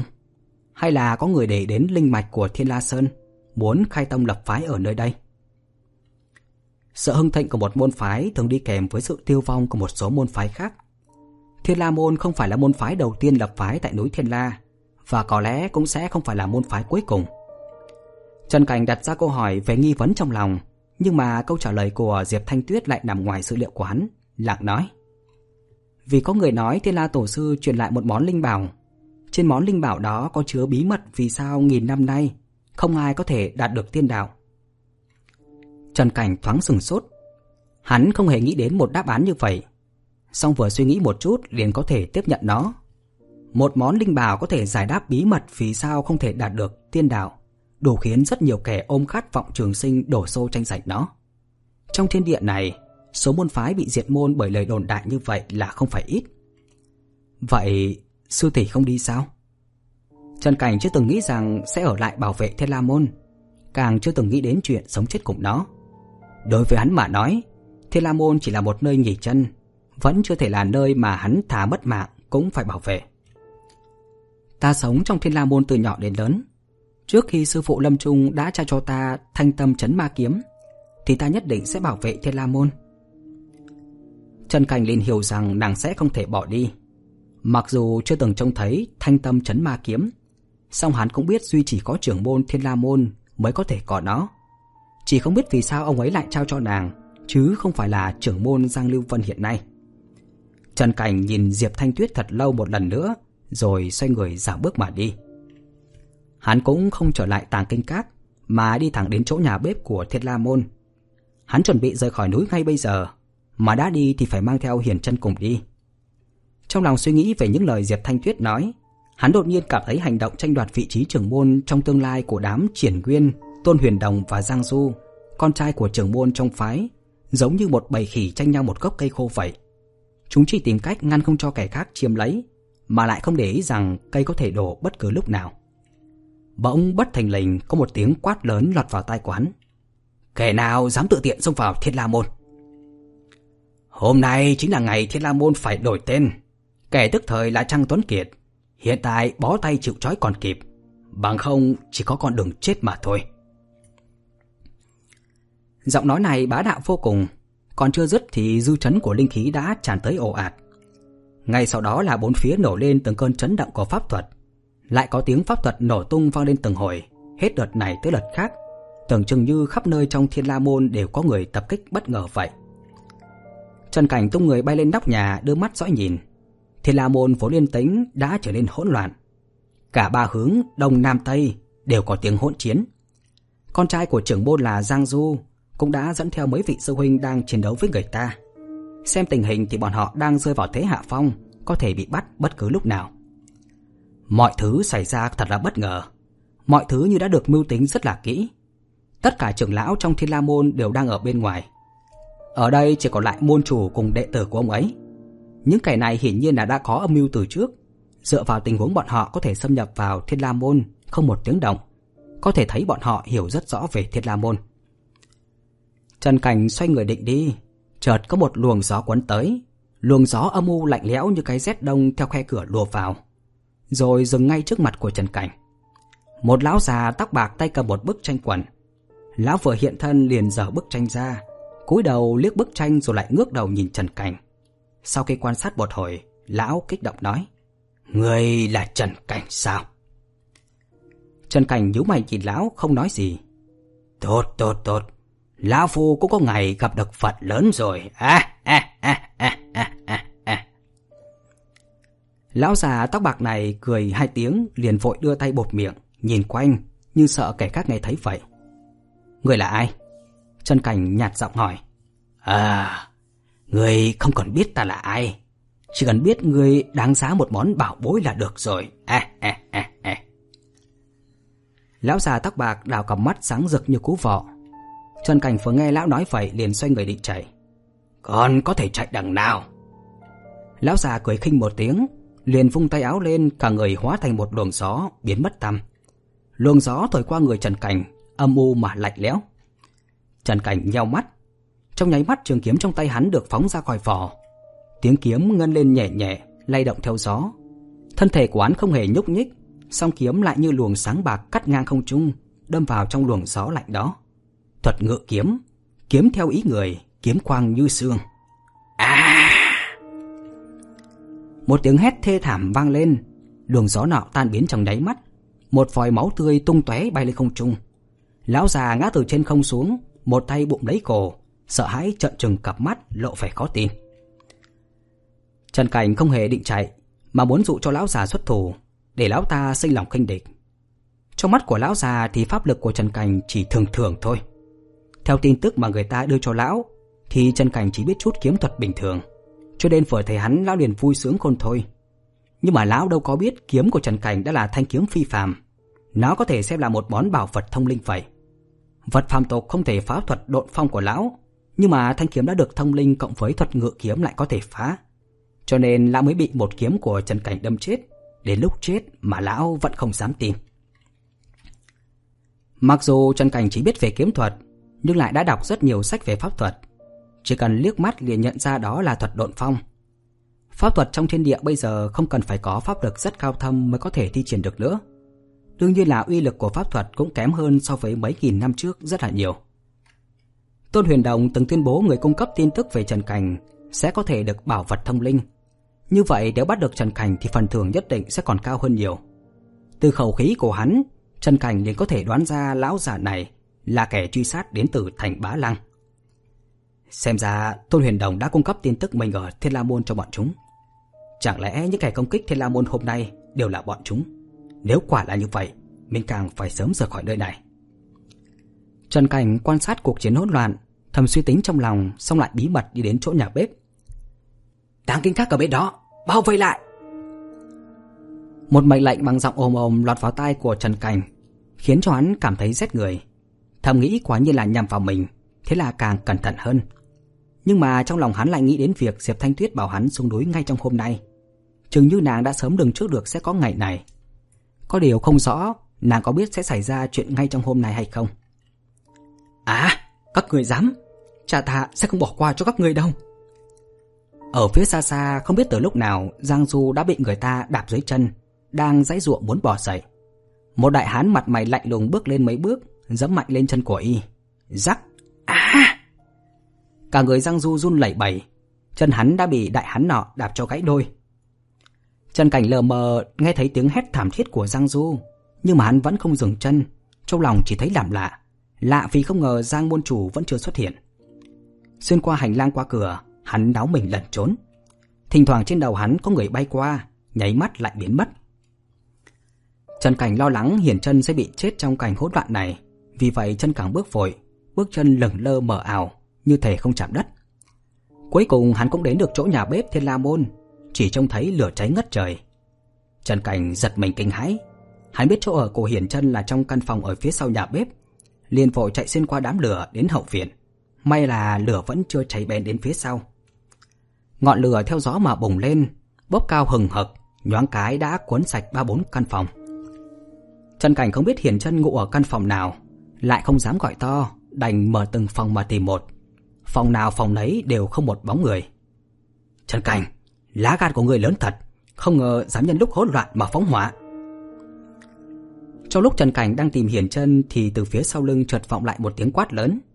Trần Cảnh vụt xoay người lại, Chỉ thấy trên nóc tường cách hắn mấy chục thước Có một gã mập tay to mặt lớn đang đứng Cặp mắt ti hí của gã lóe lên vẻ nham hiểm và độc ác Kẻ này xuất hiện một cách kỳ lạ Giống như đợi sẵn ở đây vậy Trần Cảnh thầm nghĩ Đoạn nheo mắt thấp giọng hỏi Người là ai? Lửa này không phải do ta đốt. Người không cần biết ta là ai, Đích thân ta thấy người phóng hỏa mà. Gã mập đó cả tiếng, giọng đầy chính nghĩa. Trần Cảnh liền bừng lửa dần Đột nhiên một giọng nói con nít cất lên từ phía sau lưng. Minh tính sư huynh, Lửa này rõ ràng là do huynh đốt, Tại sao nói do Trần Cảnh sư huynh? Trần Cảnh xoay người lại, Chỉ thấy Hiển chân bò ra từ một cái hốc đá. Trông thấy Hiển chân bình an vô sự Trái tim bị thít lại của hắn liền được buông lòng. Hắn quay người lại nhìn gã bập tay to mặt lớn đỏ lạnh lùng hỏi Người là minh tính sao? Gã bập bị khí thế của Trần Cảnh làm cho khiếp sợ phải lui lại một bước song vẫn cố nói cứng Không sai, ta chính là minh tính Trần Cảnh nghe vậy liền nổi sát ý Xong lại đột nhiên quay đầu nhìn về phía khác Chỉ thấy đang có ba người bay vọt về phía mình Trong đó có kẻ la lên Trần Cảnh đang ở chỗ này Đừng để hắn chạy thoát. Trần Cảnh giật mình thất kinh, Nghĩ thầm là sẽ khó lòng dẫn Hiển chân chạy cùng rồi. Bèn xoay người nói với Hiển chân Hãy trốn cho kỹ, Khi nào gió êm biển lặng thì hắn ra. Minh tính cười khẩy, Tỏ vẻ không lo sợ gì. Trong chớp nhoáng, Ba tên kia đã bay vọt tới cách hơn một trường. Một gã hắc y mặt lạnh tanh giận dữ quát, Trần Cảnh, Ngươi giết tiểu công tử nhà ta. Hôm nay ta muốn chém đầu ngươi Để tế hồn thiêng của công tử. Trần Cảnh sư huynh Huynh mau chạy đi. Hiền chân vẫn còn núp người trong hốc đá lo lắng la to lên. Trần Cảnh không quay đầu lại, Chỉ quát một câu, Trốn cho kỹ. Rồi chỉ tay về phía minh tính, Cây kiếm trong bao vẫn bình thường Đột nhiên phóng phèo ra, Hóa thành một vệt sáng màu trắng. Minh tính kinh hãi đến độ vẫn còn chưa kịp thốt ra tiếng nào, Thì cái đầu béo núc đó đã bắn lên không trung. Đến chết, Hắn vẫn không rõ vì sao Trần Cảnh không chạy, Mà lại phải giết mình trước. Ba kẻ bay lại liền quát lớn Rồi thi triển pháp thuật của mình. Một chiếc roi hư ảo dài thòng quấn xuống. Một ngọn lửa từ trên trời giáng xuống. Một bánh xe quay màu vàng Từ trên cao đập thẳng xuống đầu của Trần Cảnh. Trần Cảnh lại bất chấp Đứng ngây người bất động như thể không hề phát hiện ra pháp thuật Và pháp bảo nọ sẽ đánh xuống mình. Chỉ thấy ngón tay của hắn chập lại Rồi múa may trước mặt như đang dùng kiếm. Thanh phi kiếm vừa chém dụng đầu minh tính liền bay lượn trong không trung theo sự di chuyển của ngón tay. Thân kiếm như được phủ một lớp ảo ảnh, bay cực nhanh tới vót lấy đầu ba kẻ nọ. Ba kẻ nọ cả kinh, không ngờ Trần Cảnh lại không thèm đếm xỉa đến bản thân mà công kích bọn họ. Kiếm bay cực nhanh, hơi thở nguy hiểm phà vào lòng của bọn họ. Song bọn họ vốn không kịp thi triển thêm pháp thuật nào để ngăn trở, đành phải gia tăng pháp lực, hy vọng có thể giết chết Trần Cảnh trước khi thanh phi kiếm đó bay đến bên người. Thấy hai pháp thuật của một món pháp bảo giáng xuống người mình, Trần Cảnh vẫn không hề lộ cảm xúc gì. Không phải hắn không muốn tránh, mà vốn dĩ hắn không thể cử động. Thuật ngự kiếm mới thành tựu bước đầu, hắn vẫn chưa thể phân tâm tránh né trong lúc ngự kiếm, càng không thể nhân kiếm hợp nhất giống như là kiếm tiên trong truyền thuyết vậy, mà chỉ có thể tập trung ý niệm toàn thân để điều khiển thanh kiếm mới được thông linh đó. Thanh kiếm tạo ra một làn xương trắng, mặc cho pháp thuật và pháp bào sắp giáng xuống người Trần Cảnh mà bay vọt lấy đầu giặc. Hiền chân hoảng sợ bụng lấy miệng, nó muốn nhắm mắt để không phải nhìn nữa, xong cặp mắt lại cứ mở trừng trừng. Chỉ thấy ngọn lửa nọ như bầu trời đổ ập xuống người của Trần Cảnh, bao lấy Trần Cảnh lại. Thấp thoáng thấy một sợi dây thừng đang quấn quanh cổ của Trần Cảnh. Một bánh xe quay màu vàng đánh trúng ngực của Trần Cảnh. Trần Cảnh bay ngược ra phía sau, phun một ngụm máu tươi nặng nề rơi xuống đất. Hiển chân không kiềm được la lên một tiếng Rồi định bò ra ngoài Xong lại thấy Trần Cảnh đã bỏ dậy Ngoái về phía nó nói, Hãy tự chăm sóc mình thật tốt, Sư huynh không thể mang đệ chạy rồi. Dứt lời liền xoay người xuôi theo góc tường rời đi. Hiển chân không thể tin nổi Là có người bị hai phép thuật và một món pháp bảo đánh trúng Mà vẫn có thể sống. Lúc nó nhìn sang chỗ ba kẻ nọ Thì mới phát hiện không ngờ đầu của bọn họ Đều đã lăn lông lốc một bên. Bởi vì khi thành chân bị pháp thuật và pháp bảo đánh trúng Thì ba kẻ nọ đã bị kiếm phót mất đầu. Chẳng qua pháp thuật vẫn chưa tiêu tán, Nên thoạt nhìn thì thấy hắn bị pháp thuật nọ đánh trúng, Nhưng mà không bị tổn thương gì lớn. Mặc dù pháp bảo hình bánh xe vàng đỏ không còn pháp lực để duy trì, song vẫn đánh bay Trần Cảnh. Có điều cũng không tạo thành thương thế chí mạng.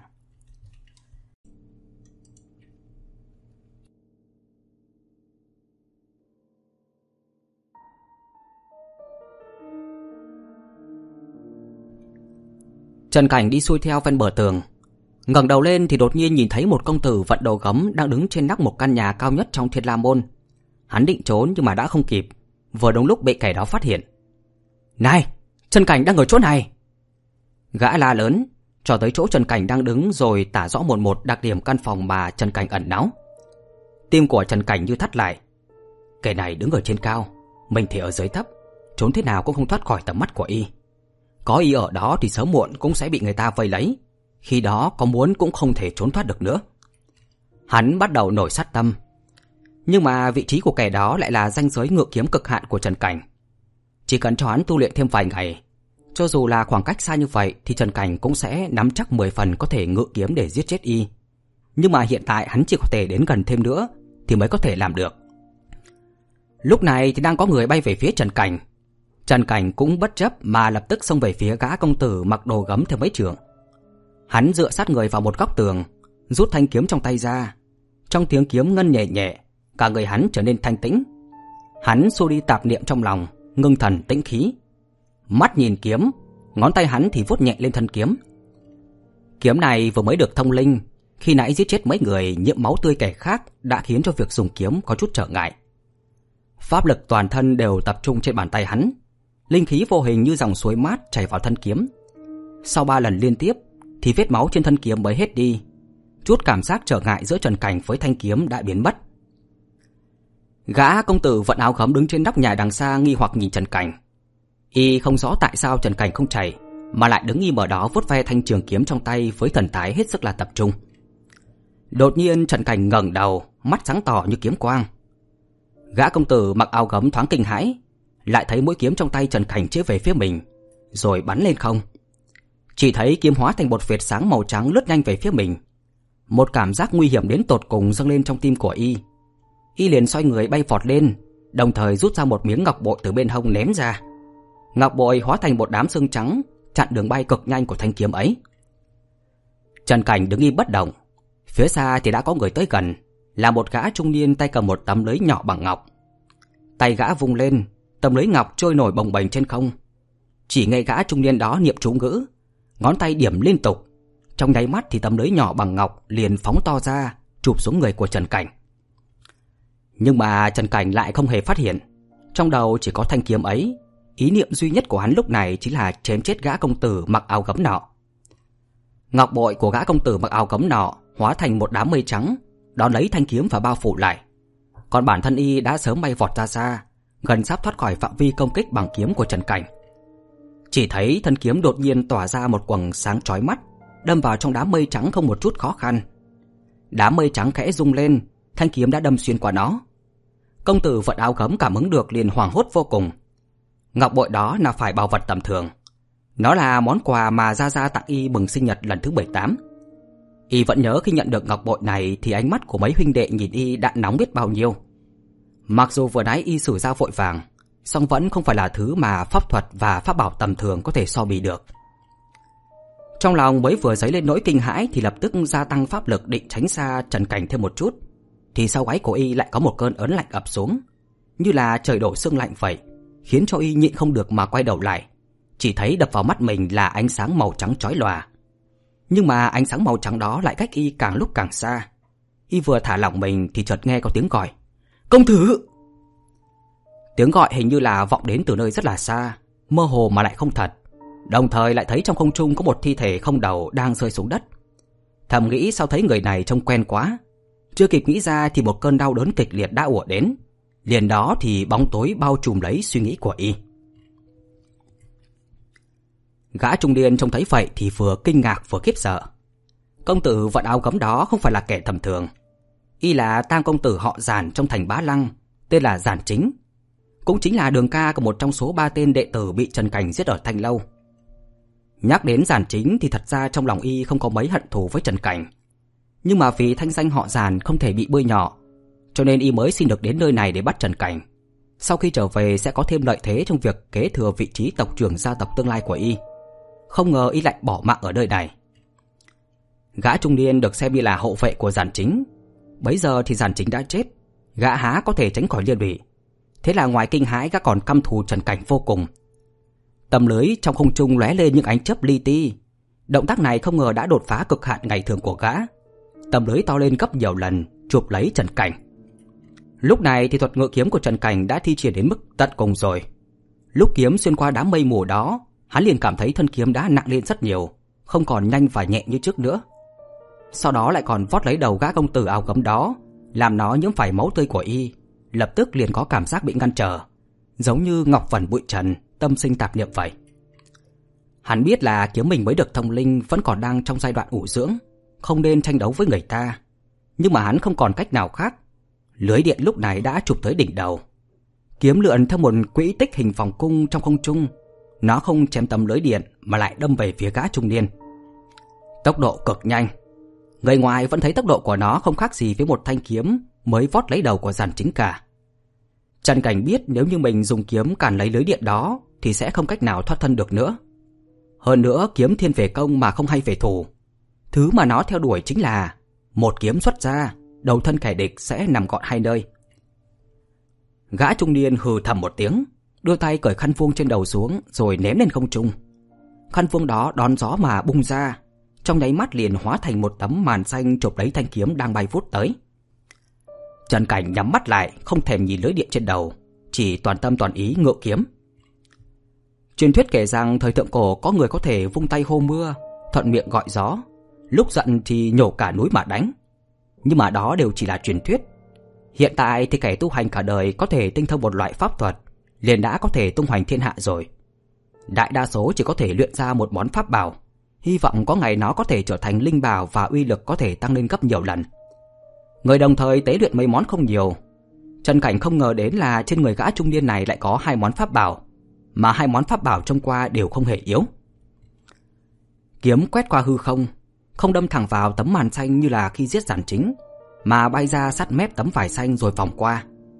Không phải là Trần Cảnh không muốn đâm một nhát xuyên tấm màn xanh đó, mà là hắn biết vào lúc này không thể làm như vậy. Người ngoài nhìn qua thì thấy kiếm này không hề khác biệt với một kiếm giết chết giản chính khi nãy, nhưng mà bản thân hắn lại biết rõ nó đã kém đi rất nhiều. Kiếm lượn một hình vòng cung trên không trung, trông linh động vô cùng, chém vào cổ của gã trung niên đó. Gã trung niên chỉ cười lạnh, xoay bàn tay ra, miệng niệm chú ngữ.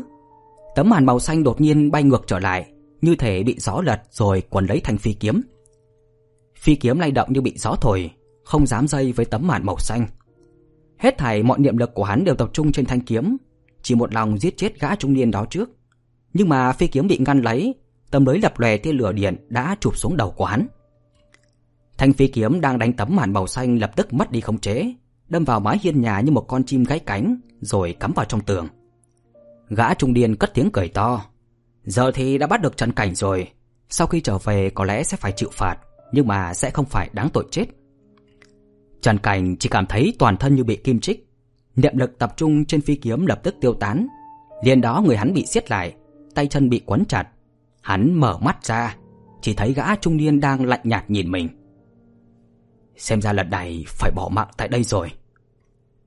Ngay tại khi Trần Cảnh định nhắm mắt lại chờ chết, thì từ trên nóc nhà sau lưng gã trung niên chợt có một cô gái, vận đạo bào màu trắng xám, tóc búi cao, nhẹ nhàng bay xả xuống.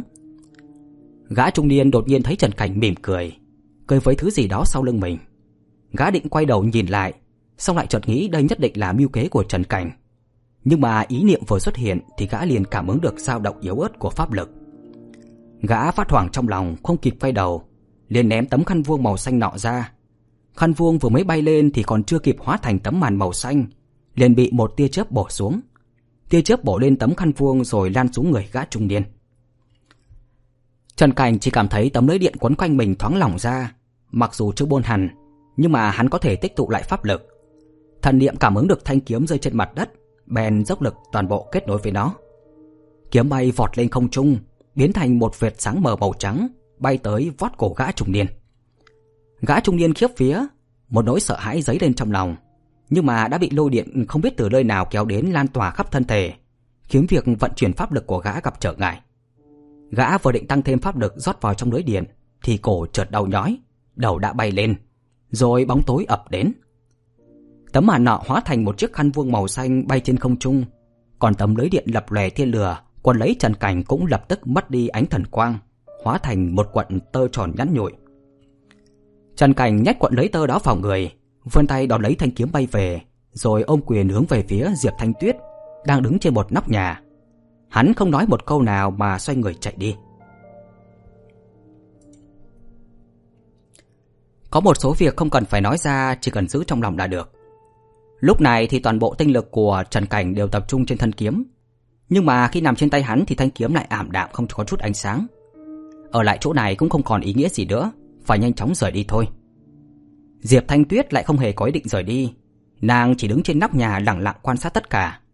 Ngay cả chiếc khăn vuông của gã trung niên vừa rồi rơi ngay trước mắt cũng chỉ khiến cho nàng nhìn thoáng qua, không hề đến nhặt lấy. Sự xuất hiện của nàng tự như ánh sáng trong bóng đêm vậy, ngay lập tức thu hút vô số con thiêu thần lao tới. Cùng với lúc đó thì trong những góc khuất, đột nhiên xuất hiện một đám người vô cùng quái dị. Nhân ảnh mờ ảo không thể nhìn rõ mặt, thậm chí dáng người còn mập ốm ra sao cũng không biết. Bọn chúng tựa như những làn khói đen nồng nặc tập trung lại một nơi. Cũng không thấy đám người đó dùng bất cứ pháp thuật nào, mà chỉ lao tới đánh thẳng vào Diệp Thanh Tuyết. Kỳ lạ là nàng vẫn chỉ chăm chú nhìn về hướng chân đối, giống như không hề nhận ra nguy hiểm. Cẩn thận đấy! Trần Cảnh hô lên thất thanh. Ngay lúc hắn hét lên thì những quái nhân kia đã tựa như một làn khói đen áp sát tới Diệp Thanh Tuyết. Đột ngột trên người của nàng xuất hiện một tầng điện quang. Đám người kia lập tức phát ra những tiếng kêu vô cùng thảm thiết, rồi nhanh chóng tản đi. Diệp Thanh Tuyết tựa hồ hồi tỉnh sau tiếng hô của Trần Cảnh. Bàn tay đang buông thõng sau đạo bảo kia liền khô lên một cái, phảng phất như xua tan hư không. Khi nó đi qua chỗ nào cũng để lại ánh điện quang rực rỡ, hóa thành một chiếc roi bạc, rồi tạo thành một vòng tròn khuếch tán ra xung quanh. Trần Cảnh kinh hãi. Tuy hắn biết rõ Diệp Thanh Tuyết có pháp lực cao cường, sở trường lại là lôi pháp, nhưng mà chưa từng nghĩ đến nàng đã đạt tới mức tùy tâm sở dục như thế này. Chỉ thấy lấy Diệp Thanh Tuyết làm trung tâm, một vầng điện quang màu bạc xuất hiện rồi khuếch tán ra bốn phía, phủ lấy toàn bộ bầu trời của Thiên La Môn. Nó chạm tới ai thì người đó lập tức rơi xuống đất. Đám người như những làn khói đen kia khi chỉ vừa chạm vào liền vội vàng tránh xa. Đi! Diệp Thanh Tuyết khẽ quát một tiếng rồi bay lên trời, lao thẳng tới chỗ trưởng môn Giang Lưu Vân đang bế quan. Trần Cảnh cũng vội vã xoay người lẻn sang mặt bên Thiên La Môn chạy đi. Thiên La Môn chìm trong u ám, hoàn toàn không có một chút khí tức thần tiên siêu nhiên xuất trần nào mà trở nên vô cùng lạnh lẽo đáng sợ. Trong bóng tối thì Trần Cảnh thu liễm khí tức, lòng băn khoăn tự hỏi không biết đám người ẩn trong sương mù đêm nay là ai. Hắn nắm chặt trường kiếm trong tay, vừa vội vàng chạy vừa vận chuyển linh lực trong lòng bàn tay chuyển đến thân kiếm, cố gắng nhanh chóng bài trừ huyết khí trên thanh kiếm. Thiên La Môn lập phái đã hơn 300 năm, sơn môn không hề nhỏ, quan điện lại được xây dựng vô cùng tinh xảo, chỉ là qua điện nơi đây dường như đã thay đổi hoàn toàn. Trên bầu trời đêm thỉnh thoảng lại xuất hiện vài vòng điện quang đánh tan nát rất nhiều thân ảnh hắc ám. Trần Cảnh cũng không gặp bất cứ sự ngăn cản nào. Có lẽ địch nhân đều đã đuổi theo Diệp Thanh Tuyết, mà cũng có thể là do nàng cố tình dụ chúng đi. Trong bóng tối nàng như lôi quang liên tục phóng ra những tia sáng chói mắt. Trần Cảnh men theo chân tường đuổi gấp theo, đột nhiên hắn dừng lại. Phía trước có bóng đen có cặp mắt màu cho nguội lặng lặng đứng. Trần Cảnh giật mình, một luồng khí lạnh lẽo không biết từ đâu tràn vào khắp cơ thể. Vừa nhìn thấy kẻ này thì hắn lập tức nghĩ tới hai từ, vong hồn. Không đợi hắn kịp phản ứng thì vong hồn đột nhiên há to miệng muốn giết lên, nhưng lại không hề có một âm thanh nào phát ra. Tuy vậy Trần Cảnh lại cảm thấy đầu mình đau đớn, rồi như đang chìm vào trong cơn mê vậy. Hắn vô cùng kinh hãi, lập tức đâm thẳng thanh kiếm trong tay ra. Thân kiếm được à, quán chú pháp lực làm xuất hiện một vầng sáng màu xanh lấp lánh. Cả người Trần Cảnh như không còn trọng lượng, thuận theo thế kiếm bay lên, đâm tới một kiếm. Chiêu kiếm hướng thẳng đến cái miệng đang há to của phong hồn. Cảm giác như đâm vào nước vậy, chỉ có một chút lực cản chứ không hề giống đâm qua da thịt. Tuy nhiên một kiếm này cũng khiến cho phong hồn rít lên một tiếng thê lương, rồi nhanh chóng hóa thành làn khói đen tàn đi mất. Trần Cảnh ngước mắt nhìn lên thì thấy thanh kiếm đang xuyên qua một lá bùa ống ánh. Nó không hề có chút khí tức âm tà nào, hoàn toàn trái ngược với phong hồn kia. Lá thần phù trên thân kiếm từ từ tiêu tán đi. Trần Cảnh nhíu mày, trong đầu đột nhiên nghĩ tới hai từ, Thành Hoàng. Chỉ có bậc thần linh như Thành Hoàng mới có khả năng sử dụng nhiều vong hồn đến như vậy. Trước nay Trần Cảnh luôn tâm niệm, thần là cái gì đó vô cùng xa xôi. Vậy mà lúc này chợt nhận ra mình đã tiếp cận đến nó, phảng phất như đã thấy được cái thuộc về thần linh cao cao tại thượng thần khí. Hắn vô thức quay đầu lại nhìn Diệp Thanh Tuyết, nhưng mà không chờ hắn nói ra suy nghĩ trong lòng thì đã có mấy chục vong hồn từ trên trời lao xuống. Gương mặt các vong hồn vô cùng mờ nhạt, chỉ như là dùng một bãi bùn đen đắp tạm lên vậy. Miệng thì mở to hét tên vô thành. chân Cảnh mới nhìn thì đã dùng mình rồi. Lòng hắn bỗng thấy ớn lạnh. Bên tai lại vang lên tiếng cười vô cùng quái dị, giống như là một đám người đói khát đang hưng phấn khi nhìn thấy thức ăn vậy. Đám vong hồn âm u vây quanh hắn, trong chớp mắt biến nơi này thành quỷ vực. Trần Cảnh xoay người la ra phía ngoài, kiếm trong tay ngay lập tức được bố ra. Thân kiếm đã nhiễm máu người không đủ linh động để giúp hắn ngự kiếm bảo vệ quanh thân. Tuy vậy kiếm vẫn lóe lên ánh sáng lóng lánh. Thanh kiếm bố lên tạo thành một tấm màn sáng đầy màu sắc bọc Trần Cảnh vào bên trong. Vài chục vong hồn lao xuống xông thẳng vào trong màn kiếm, bị kiếm mang chém tan tành rồi biến thành một màn xương đen nồng đặc. Nhưng mà lại càng có nhiều vong hồn nhào xuống hơn, nhấn chìm hắn trong nháy mắt. Kiếm trong tay của Trần Cảnh chém điên cuồng, từng tầng tuyết hoa tung bay quanh người quán. hắn. Hắn đã không phân biệt được rõ là có bao nhiêu vong hồn nhào tới mình nữa. Cũng không biết là trong một sát na có bao nhiêu vong hồn đã tiêu tán đi dưới kiếm của mình. Trong mắt của hắn chỉ còn lại sắc cho tàn nguội lạnh. Bên tai của hắn lại ngập tràn tiếng cười điên cuồng quái dị. Trong màn đêm đen thì kiếm quang như ẩn như hiện, giống như một ngọn đèn lay đắt trong gió, có thể tắt bất cứ lúc nào. Cũng may đây là vong hồn thuộc loại yếu nhất, chúng đều cần phải có thần phù của thành hoàng thì mới có thể ra khỏi minh phủ thành hoàng. Nếu đổi lại là âm binh thì Trần Cảnh đã cầm chắc cái chết. Hắn tự nói với mình rằng vẫn còn một đường sống, nhưng mà cảm giác của hắn lại đang dần bị nhấn chìm trong dòng chảy tử vong. Vong hồn như có như không. Mỗi khi làm tiêu tán một con thì hắn lại có cảm giác thân kiếm như bị một thứ gì đó quấn lên. Thanh kiếm tự như là một khối bọt biển hút toàn bộ khí tức âm tà của vong hồn. Kiếm ngày một nặng, pháp lực của hắn ngày càng một ít đi. Thời gian cứ lặng lẽ trôi qua. Vốn lúc đầu hắn còn có thể nghĩ đến việc mình không thể thoát ra, sẽ bị đám phong hồn này thôn phệ. Nhưng mà đến lúc này thì hắn cũng không còn đủ tinh lực để suy nghĩ nữa, dồn tất cả lên thanh kiếm. Đến cuối cùng thì linh tức vốn đã liên miên bất tận dần trở nên mỏng manh như tơ nhện. Hắn chỉ còn lại một phần ý nghĩ, quyết chí không chịu chết, cố gắng vận động thân thể mang thanh kiếm lao thẳng ra ngoài. Hắn cảm thấy cơ thể mình lúc này đã chậm như sen, nhưng mà trong mắt người khác lại không hề thay đổi, vẫn đang điên cuồng lao ra, là sự điên cuồng của kẻ đang cần bỏ mạng. Diệp Thanh Tuyết đứng trên nóc nhà, tà áo trắng tung bay trong gió đêm. Quanh người của nàng có một dòng điện không ngừng chuyển động, vô cùng bắt mắt. Bốn phía đông tây nam bắc xung quanh nàng có bốn người mặc y phục màu đen sẫm. Trước ngực áo có thêu phù hiệu hình một ngôi thần miếu, lại có thêm khói mờ ảo bao phủ xung quanh, nên không thể nhìn rõ tướng mạo, dáng vẻ thần bí vô cùng. Trên đỉnh đầu của Diệp Thanh Tuyết là một tầng mây đen quẩn quẩn. Nhìn kỹ thì ra là rất nhiều vong hồn đang tụ lại một chỗ, nên đã che khuất cả bầu trời. Từng con một hét lên vô thanh, tựa như bất cứ lúc nào cũng có thể lao xuống thôn phệ Diệp Thanh Tuyết. Lúc này thì Tôn Huyền Đồng hiện ra từ trong bóng tối, đằng sau lại có hai đạo nhân đứng hai bên trái phải bảo vệ hắn. Diệp sư tỷ, hà tất phải như vậy?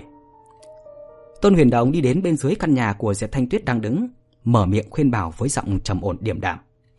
Diệp Thanh Tuyết đưa mắt nhìn hắn, nàng không hề tỏ ra kinh ngạc, cũng không thấy phẫn nộ như thể nàng biết trước tất cả và đã sớm có tâm lý chuẩn bị. Tôn Huyền Đồng bất giác khép hờ mắt, tựa như bị ánh mắt thanh tịnh kia của Diệp Thanh Tuyết nhìn thấu. Nội tâm của y sục sôi. Trong toàn bộ đệ tử của Thiên La Môn thì Diệp Thanh Tuyết là người có pháp lực cao thâm nhất. Thậm chí đã xuất hiện lời đồn rằng tu vi của nàng chẳng hề thua kém trưởng môn Giang Lưu Vân. Tôn Huyền Đồng thì vốn không hề tin điều đó, bởi y cho rằng nàng có thể tài giỏi hơn những đệ tử khác, nhưng mà vẫn chưa thể nào so sánh nổi với trưởng môn cao cao tại thượng. Nhưng mà một màn vừa rồi thật sự đã nâng lên địa vị của Diệp Thanh Tuyết trong lòng của y, đồng thời khiến y cảm thấy nàng cao thâm khó lường. Tôn Huyền Đồng lấy lại bình tĩnh, tử tôn nói: "Nếu sư tỷ muốn đi, Huyền Đồng nguyện lấy gấm lót đường. Còn nếu sư tỷ không muốn đi, Huyền Đồng nguyện lập Kim Đài Ngọc Khuyết, có nghĩa là Đài phẳng Điện Ngọc, cùng sư tỷ tu hành." Lời của Tôn Huyền Đồng nói ra với thái độ vô cùng thành khẩn. Cuối cùng thì Diệp Thanh Tuyết cũng phản ứng, nàng chỉ lắc đầu nói: Lấy gấm lót đường thì sao? Người có thể khiến những đệ tử Thiên La Môn đã chết sống lại được ư? Giọng của nàng êm tai cũng như ánh mắt thanh tịnh điểm đạm của nàng. Nhưng mà Tôn Huyền Đồng lại cảm thấy Diệp Thanh Tuyết lúc này giống như là tia sét có khả năng hủy diệt vạn vật. Chỉ cần chạm nhẹ là sẽ chết. Cho dù ngày thường hắn vẫn tự phụ tài trí mẫn tiệp, nhưng mà vào lúc này cũng á khẩu không nói được gì. Diệp Thanh Tuyết lại nói thêm. Kim đài ngọc huyết thì sao? Có khả năng giúp ta đắc đạo trường sinh sao? Câu hỏi này của nàng lại làm cho Tôn Huyền Đồng biến sắc. Hắn cuối cùng cũng nhận ra mình cùng với Diệp Thanh Tuyết căn bản không phải là cùng một loại người. Tôn Huyền Đồng mang sắc mặt lạnh lùng, nhưng mà ngữ khí vẫn hòa nhã, tận lực nói. Đã là như vậy, Huyền Đồng đành đắc tội vậy. Nhưng ngay khi hắn dứt lời, thì một tiếng quát đầy giận dữ vang lên. Thực sự là to gan! Theo sau tiếng quát thì cửa đá nơi trưởng môn bế quan đột nhiên nổ tung, đá vụn bay lên tán loạn, đất cát tung bay. Một lão già tóc trắng xóa bước ra, dáng đi lảo đảo như thể chỉ cần gặp một cơn gió nhẹ là ngã. Tôn Huyền Đồng kinh ngạc, đó chẳng phải là hình ảnh tiên phong đạo cốt của sư phụ hắn. Lão mới chỉ bế quan mấy tháng mà đã trở nên như vậy rồi sao? Giang Lưu Vân giả yếu đi thẳng đến chỗ của Tôn Huyền Đồng, vừa đi vừa nói. Huyền Đồng, ngươi theo ta học đạo 12 năm, cuối cùng lại phản bội ra tay với ta. Trí nhớ của sư phụ thật là tốt. Tôn Huyền Đồng kinh hãi trong lòng, nhưng mà bề ngoài vẫn tỏ vẻ bình ổn không khác gì so với ngày thường, vô cùng ôn thuận. Đôi lông mi trắng bạch của Giang Lưu Vân khẽ rung lên, dường như một cơn gió cũng có thể thổi bay nó. Lão nói, Người có thấy bộ dạng ta bây giờ không? Khi xưa sư huynh đã nói vật đó không thể đụng vào. Ta vốn không tin, cho nên mới có bộ dạng bây giờ. Ngươi thì sao? Ngươi vẫn muốn có nó ư? Tôn Huyền Đồng khẽ biến sắc, nhưng mà vẫn sụp mi mắt lại nói. Huyền Đồng tình nguyện xem thử. À, à, à, à, à, à, à, à, à, à. Giang Lưu Vân khẽ cười, sắc mặt tái như da gà, cất tiếng khàn khàn nói. Nó là do sư huynh dùng tính mạng đổi đấy. Kẻ khi dư diệt tổ như ngươi, thì làm sao mà có thể xem được. Vừa dứt lời thì lão liền phất ống tay áo. Người lão đột nhiên tỏa ra một cỗ sát khí cường liệt. Bàn tay gầy cuộc đánh ra một trường. Trong không trung bỗng xuất hiện một cự trưởng màu xanh đã ngưng kết thành thực chất, lao thẳng đến Tôn Huyền Đồng. Lão ra tay không hề có dấu hiệu báo trước, giống như nơi mặt nước đang bình yên chợt xuất hiện một con sóng lớn. Bốn kẻ thần bí đang chia làm bốn hướng kia cũng đồng loạt chỉ một ngón tay về phía Diệp Thanh Tuyết. Lập tức thì có đám phong hồn trên trời tựa như là hắc hải bị treo ngược chút xuống. Diệp Thanh Tuyết cũng chỉ một ngón tay lên trời. Nàng khẽ quát một tiếng, đột nhiên trên không xuất hiện một tia chớp làm nổ tung đám mây phong hồn. Lôi quang rực sáng xé làm bốn, lao đi trong không khí tựa như những con điện xà có sinh mệnh. Chúng xé toạc hư không lao tới bốn kẻ kia. Tu luyện pháp thuật cũng không quá khắc nghiệt với tế luyện pháp bảo. Muốn tu hành một loại pháp thuật tới cảnh giới tùy tâm sở dục thì nhất định phải ngưng kết pháp phù trong đan điền tờ phù. Hiện giờ Diệp Thanh Tuyết chỉ cần một ý niệm là liền có thể sử dụng lôi thuật, hiển nhiên là đã ngưng kết lôi phù thành công rồi. Trên đỉnh đầu của bốn người nọ phun ra một luồng khí đen đỡ lấy quang mang chói mắt đang đánh xuống. Khí đen như bùn văng ra tung tóe, để lại ở giữa đó một cái hố thật sâu. Bọn họ đứng yên bất động, đồng thời đánh ra một bộ pháp quyết huyền ảo. Cả người đột nhiên hóa thành một đám mây đen khuếch tán ra. Còn hai đạo nhân một trái một phải đang chạy bên cạnh Tôn Huyền Đồng chợt nhoáng lên, rồi ngăn trở ở giữa. Lúc cánh tay giơ lên thì hai cái ngọc phù xuất hiện, rồi hóa thành một đám mây màu vàng. Cự trường của Giang Lưu Vân kèm theo cuồng phong ập đến, khiến cho đám mây kia tứ tán đi. Nhưng mà vào sát na đám mây màu vàng bị cự trưởng đánh tan, thì có một luồng sáng đen phóng ra. Kèm theo đó là một chuỗi tiếng gào thét chói tai, trong nháy mắt đã xuyên thủng cự trường mà Diêu Lưu Vân đã đánh ra. Theo sát phía sau luồng ánh sáng đen là một long ảnh cũng chui ra từ đám mây mù màu vàng. Nó phát ra một tiếng long ngâm, dương nanh mố vuốt đánh về phía Giang Lưu Vân. Tốc độ của luồng ánh sáng màu đen và long ảnh kia cực nhanh, đám mây màu vàng giống như là dùng để mây hoặc kẻ địch. Sát chiêu chân chính ẩn tàng ở phía sau đó. Vốn nghĩ chỉ là một kích sẽ đắc thủ, hai vị đạo nhân đứng phía sau Tôn Huyền Đồng khẽ nở một nụ cười. Hai người này là do nhà họ Tôn trả ra một cái giá thật đắt để mời tới. Hứa hẹn sau khi chuyện thành công thì sẽ để cho bọn họ tùy ý xem những điển tịch trong Thiên La Môn. Luồng ánh sáng màu đen kia có tên là phá linh trùy, chẳng những có thể phá pháp thuật đạo ra mà còn có thể phá cả pháp bảo hộ thân. Ảo ảnh hình rồng là một lá bùa có thể làm loạn tâm thần, chấn nhiếp hồn phách. À, à, à, à. Phá linh trùy uy danh hiền hách, nhưng không thể làm gì được ta đâu. Vào lúc phá linh trùy xuyên thủng cự trưởng màu xanh, trên đỉnh đầu của Giang Lưu Vân đột nhiên có một luồng khí mù mịt phóng ra, lơ lửng trong đó là một viên ngọc màu xanh phát ra hào quang ngũ sắc. Phá linh chùy lấp lóe ánh sáng màu đen vừa đâm vào hào quang ngũ sắc kia thì liền chậm lại, rồi bị Giang Lưu Vân lật tay nắm được. Sau đó lão trả lên nó một cái. Ánh sáng màu đen lấp lóe trên phá linh chùy lập tức tản đi. Một đạo nhân đang đứng liền phun ra một ngụm máu, trong nháy mắt mặt mũi trở nên tái nhợt. Bảo vật kia vốn là y dùng huyết tế để luyện, nên khi bị đoạt mất thì sẽ khiến tâm mạch bị tổn thương. Còn long ảnh dưới hào quang ngũ sắc cũng lập tức tan vỡ, biến mất không thấy tăm tích. Giang Lưu Vân cười lạnh một tiếng, vừa xài bước ra thì hai đạo nhân dưới ánh hào quang ngũ sắc kinh hãi, đồng thời thất thanh hồ lên. Linh bảo! Cả hai vừa mới thét lên một tiếng thì ngay lập tức cảm nhận được một luồng khí tức nghiêng trời lệch đất vọt tới. Bọn họ cũng muốn ngăn cản nhưng mà thân hình không tự chủ được mà bay vọt lên. Một thân thể trong đó xoay một cái, tựa hồ như là cá quấy trên mặt nước để lặn sâu xuống dưới vậy. À, à, à, à, đã tới thiên la môn ta, còn sao muốn đi? Vừa nói thì trong lòng bàn tay lão xuất hiện một cái giải ánh sáng. Ánh sáng này giống như là một lưỡi đao không có chuôi, phóng ra cực nhanh. Đạo nhân nhận thấy mùi nguy hiểm, liền vận linh quang hộ thân, nhưng mà bị đao ánh sáng phá nát, thân bị chém thành hai đoạn. Một vị đạo nhân khác hoảng sợ phóng lên cao, vào lúc sắp sửa ẩn vào mây đen như đám vong hồn thì bị một vệt sáng xé ra. Hết thảy cơ hồ mọi chuyện diễn ra chỉ trong khoảnh khắc. Sắc mặt của Tôn Huyền Đồng thoáng cái đã trở nên trắng bệch. Ngọc Như Ý vốn trong tay áo đột nhiên bay lên dựng thẳng ở trước mặt, rồi phun ra một luồng linh khí. Y nhanh chóng đọc đoạn khẩu quyết rồi ném mạnh vào Giang Lưu Vân. Ngọc Như Ý phát ra một luồng ánh sáng chói mắt, như muốn che phủ hào quang ngũ sắc kia. Quả nhiên là bảo vật gia truyền trọng sơn như ý của tôn gia đã được mang đến đây. Đáng tiếc, như vậy cũng không làm gì được ta đâu. Giang Lưu Vân lạnh lùng nói. Viên ngọc xanh phát ra hào quang ngũ sắc lại sáng bùng lên.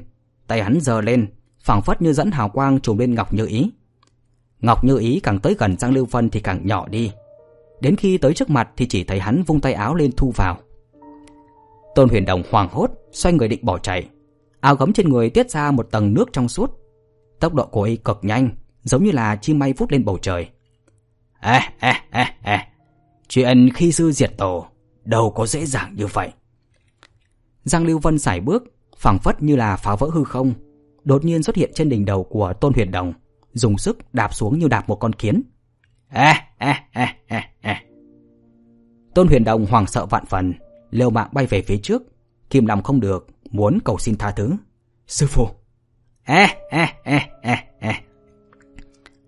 Tôn Huyền Đồng phun ra một ngụm máu tươi, rơi tuột xuống như một người dơm không có sinh mệnh nằm trên mặt đất. Máu tươi chảy ra lênh láng thành phũng. Lúc Tôn Huyền Đồng ngã sắp xuống thì đồng tử đã hoàn toàn giãn ra. Trong lòng của y đã không còn sợ hãi, nhưng mà bên tai vẫn quanh quẩn giọng nói của Tôn Huyền Ngọc. Ca ca, ca phải hứa với muội, đến lúc đó ca nhất định phải đi ở phía sau cùng đấy. Quả thật thì lúc đầu gã vẫn đứng ở phía sau, cho dù là lúc đối mặt với Giang Lưu Vân thì vẫn ở phía sau hai đạo nhân. Chỉ có điều là y vẫn phải chết. Y chết mà không cam lòng, vẫn còn chưa được nhìn thấy hết trời đất bao la này. Y đã không còn cơ hội nữa rồi. Tất cả mọi chuyện chỉ xảy ra trong chớp mắt. Trong không trung thì chẳng biết khi nào đã xuất hiện một tòa thần miếu. Tòa thần miếu này tối tăm, khói đen mịt mờ, âm khí dày đặc. Thần miếu bao lấy Diệp Thanh Tuyết. Giang Lưu Vân cũng không đi hỗ trợ, chỉ nheo mắt nhìn kỹ bốn người đang phân ra bốn hướng đông tây nam bắc. Cùng với lúc này ở nơi xa truyền đến một tiếng hú dài, chỉ thấy sóng khí ngất trời quần quận như nước thủy triều ập mạnh vào núi Thiên La. Giang Lưu Vân vừa nghe tiếng hú kia thì liền biến sắc, phóng người lên rồi phi độn chạy trốn về một phía. Diệp Thanh Tuyết ngẩng đầu nhìn thần miếu, thân sắc trở nên tập trung. Nàng lấy ngón tay vẽ lên không trung, những ngón tay đi qua đi lại, lưu lại một đường chỉ bạc. Nàng đang vẽ một lôi phù, có nghĩa là bùa sấm sét. Lôi phù hình thành trong nháy mắt, nó khuếch toán ra hư không rồi bao phủ lấy bốn người. Bầu trời âm u đột nhiên bị xé toang ra, luồng sấm sét mang theo khí tức hủy diệt, giáng xuống như được ai đó triệu hoán. Đùng đùng đùng đùng, ầm ầm ầm ầm. Ánh chớp lóe lên chói mắt, đánh thẳng xuống đỉnh ngôi miếu thần bí phi phàm. Đồng thời một phần sáng chói lòa tỏa ra, Diệp Thanh Tuyết biến mất trong đó. Đúng vào lúc đó thì một luồng sét đột nhiên kéo dài rồi phóng vào một góc ở phía nam Thiên La Môn. ầm một tiếng, bóng tối bị phá vỡ, Trần Cảnh mang sắc mặt tái nhợt té ra từ sóng biển phong hồn. Rời đi nhanh lên. Bên tai của Trần Cảnh truyền đến thanh âm của Diệp Thanh Tuyết. Hắn ngẩng đầu nhìn, chỉ thấy một luồng chớp như là chỉ bạc dẫn nhập vào trong bóng tối rồi biến mất. Phía sau có bốn người đạp không mà đi, truy đuổi gắt gao. Hắn chỉ nhìn qua cũng biết đây là thuật độn lôi. Lúc này pháp thuật trong thiên hạ nhiều không kể xiết. So với thời thượng cổ thì giống như là lục bình trôi trên mặt nước vậy, vô cùng phồn thịnh. Chỉ có điều là uy lực thì rõ ràng yếu hơn rất nhiều. Trần Cảnh nhìn bốn người đang truy đuổi, nghĩ thầm bốn người kia nhất định đều là thần linh. Trong núi Thiên La có thứ gì đó hấp dẫn được bọn họ hay sao? Hắn chỉ nghĩ thoáng như vậy rồi vội vàng hít sâu một hơi. Linh khí trong thiên địa tràn vào trong miệng, tụ nhập tự phổ, hóa thành một luồng đan khí. Trần Cảnh mượn luồng đan khí này, phóng người lên, vượt tường viện, lao vào thâm sơn. Vong hồn phía sau hắn nhanh chóng đuổi theo. Xem hình dáng bọn chúng thì hiển nhiên không phải là vong hồn bình thường. Lại có một người đột nhiên từ trong góc phòng âm u vụt ra bay lên trời, rồi lao vào trong thâm sơn. Trần Cảnh không dám đi lên đường lớn, một mạch tiến vào trong núi sâu. Từ lúc hắn luyện thành thuật ngự kiếm cho tới nay, thì pháp lực không tăng lên nhưng mà ý niệm cảm quan ngày càng huyền diệu. Mặc dù hắn tới giờ này không có quay đầu lại, cũng không hề có dừng lại nhưng mà vẫn cảm giác phía sau có nguy hiểm theo sát. Hắn không biết được những vong hồn truy đuổi phía sau còn là những oán hồn được sinh ra trong tù hận của thành Bá Lăng, chỉ để ý làm sao luồn vào trong núi sâu. Hắn thu liễm khí tức toàn thân, chọn những động phủ yêu linh mà chạy qua để che giấu khí tức bản thân. Cũng may là 300 năm trước, yêu linh của dãy núi Thiên La đều đã bị Thiên La Tổ Sư chu diệt. Bây giờ trong núi chỉ còn lại một ít yêu linh mới. Thời gian tu hành của Trần Cảnh mặc dù không lâu nhưng mà pháp môn luyện khí chính là đạo pháp chính tông. Khí tức ngưng thuần nên chỉ cần thận trọng khi chạy qua những chỗ động sơn cốc của yêu linh thì sẽ không làm kinh động đến bất kỳ yêu linh nào. Hắn cơ thể xuyên qua mấy sơn cốc thì cảm thấy nguy hiểm phía sau quả nhiên yếu đi rất nhiều, nhưng mà vẫn không hoàn toàn biến mất, chỉ là không còn theo sát sau lưng như trước nữa. Dãy núi Thiên La vô cùng rậm rạp, chiếm diện tích hơn trăm dặm. Từ trên cao nhìn xuống chỉ thấy một mảnh xanh đậm. Trong sơn cốc sương mờ răng khắp nơi. Trong lúc ngẫu nhiên sẽ nhìn thấy các loại chim chóc bay nhảy trên các cành cây. Lúc này thì Trần Cảnh đang xuyên qua núi rừng rậm rạp, tay phải cầm một thanh kiếm bóng loáng, nhìn qua có vẻ ảm đạm. Quan sát kỹ thì sẽ phát hiện trên thân kiếm thật ra có mấy vết rỉ xanh, dường như đã ăn sâu vào thân kiếm. Đây là một thanh pháp kiếm vừa mới được tế luyện thông linh. Những vết rỉ trên thân kiếm là do tiêu diệt ác quỷ nên tổn hại đến linh tính. Hắn không biết ác quỷ này là thủ hạ của vị thành hoàng hay là thổ điện nào. Nếu không phải cuối cùng có một tia sét của Diệp Thanh Tuyết, thì bây giờ hắn đã vùi lấp trong thiên la môn, bị ác quỷ vây công cắn xé rồi. Bởi vì pháp kiếm thông linh đã bị tổn hại linh tính, cho nên trong khi hắn luồn qua các ngọn núi để cố gắng thoát khỏi kẻ địch truy đuổi phía sau, thì vẫn ra sức tìm kiếm dược liệu để có thể khu trừ tà khí cho thân kiếm. Đối với một thanh pháp kiếm vừa thông linh thì bất kỳ khí tức nào ngoài khí tức của chủ nhân cũng sẽ khiến cho linh tính của kiếm bị hao tổn rất nhiều. Huống chi là tà khí âm độc trên người của quỷ Phật. Cây rừng rậm rạp, không có những cây cổ thụ cao chọc trời, mà là vô số cây nhỏ chen chúc với nhau. Bởi vì chặt trội nên tất cả đều tranh nhau hướng về phía mặt trời. Đây vốn là hành vi vô thức song bản năng thì luôn rất đáng sợ. Trần Cảnh đang đi trong rừng rậm thì đột nhiên ngừng lại. Phía trước là vách núi, bên dưới có một sân động. Trước động có một con gấu đen tuyền đang ngồi ngay ngắn. Toàn thân con gấu mọc dày lông đen, ngay cả hai mắt cũng bị che đi mất. Thầm Sơn Lão Hùng, hổ lang tị chi. Có nghĩa là gấu già núi sâu, hổ lang phải tránh. Trên người con gấu già này toát ra yêu khí nhàn nhạt, nhạt, là một con ờ, gấu già đã sắp khai linh rồi. Trần Cảnh chẳng những không tránh mà ngược lại còn phóng ra khỏi rừng rậm như một con cá đang bơi, rồi bước tới đối mặt với con gấu. Hắn không sử dụng độn thuật như người tu hành, bởi vì ngoại trừ kiếm thuật thì hắn không biết pháp thuật nào khác. Mắt của con gấu già mặc dù bị che khuất, nhưng mà nó lại cực kỳ nhạy cảm trong việc cảm nhận nguy hiểm đến gần. Thân thể của nó đang ngồi an tĩnh thì đột nhiên nhảy bổ lên, hai cánh tay giang ra như hai bức tường đè xuống. Chiếc miệng rộng gầm lên một tiếng trầm thấp khiến cho người khác khiếp đảm. Trần Cảnh không hề thay đổi tốc độ, tiến thẳng tới con gấu già. Vào lúc sắp bị đè lên thì nhảy qua một bước, luồn qua cánh tay phải con gấu, rồi cả người hắn như được một cơn gió quặn lên. Thanh kiếm trong tay vẽ lên một tầng quang hoa nhàn nhạt, nhạt, đâm phập vào gáy con gấu. Con gấu già học lên một tiếng rồi ngã vật trên mặt đất, khiến cho đám lá khô bốc lên toán loạn. Nó giãy giụa vô ích một hồi, rồi nằm yên không hề cử động. Trần Cảnh dùng một tay đặt người con gấu nghiêng qua, tay trái khép lại thành đao chọc thẳng vào ngực nó để lấy ra mật gấu. Sau khi lấy được mật gấu thì Trần Cảnh quan sát bốn phía, rồi lập tức chui vào trong động ngồi xếp bằng xuống, hít sâu một hơi, cầm kiếm chọc vào mật gấu để cho nước mật chảy theo dọc thân kiếm. Những chỗ nước mật chảy không tới thì hắn sẽ dùng tay miết lấy cho kín. Kiếm vừa mới thông linh cần nhất là tĩnh dưỡng, không nên đấu pháp. Điều này đã được ghi rõ trong phù du kiếm kinh. Sở dĩ không thích hợp để đấu pháp là bởi vì pháp kiếm lúc này sẽ bị nhiễm tà.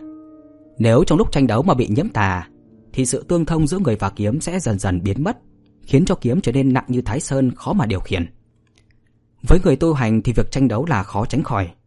Cho dù là nỗ lực trốn tránh cũng sẽ có tai kiếp rơi xuống đầu. Vì thế trong phù du kiếm kinh có ghi chép hàng loạt dược liệu có thể phụ trợ chủ kiếm rất nhanh khu trừ thân kiếm. Mật gấu là một trong loại đó. Trần Cảnh dùng hai tay nâng thân kiếm rồi ngồi xếp bằng không hề nhúc nhích trong động của con gấu. Hắn lấy thần niệm câu thông với kiếm, khu trừ tà khí âm độc nhiễm vào kiếm sau khi giết ác quỷ. Nếu như nói ngựa kiếm là lấy một sợi thần niệm nhỏ như tơ nhện không chế kiếm tranh đấu với người, thì việc kiếm bị nhiễm bẩn chính là khiến kiếm và thần niệm bị tách ra, như có một tấm màn ngăn trở ở giữa. Nếu như kiếm là cánh tay kéo dài của chủ nhân, thì kiếm bị xâm nhiễm chính là vết thương làm tay khó cử động. Mặt trời đã lặn xuống phía tây, trong rừng càng lúc càng tối. Hai tay vốn đang đâng kiếm đột nhiên thay đổi, biến thành một tay nắm chuôi kiếm, một tay xoa thân kiếm, cứ thế lặp đi lặp lại. Chất mật màu đen trên thân kiếm sau khi bị tay hắn xoa lên thì bong ra từng mảng, hóa thành bụi đen rớt xuống. Trong động gấu u ám, một tầng ánh sáng xanh màu nhạt trông như nước bao quanh tay hắn, tẩy sạch thân kiếm theo động tác xoa kiếm. Chính là lấy linh khí tẩy luyện thân kiếm.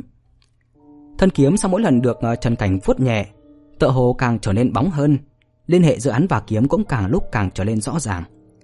Cảm giác giống như là mặt kính bị phủ bụi, không thể thấy rõ được lau sạch.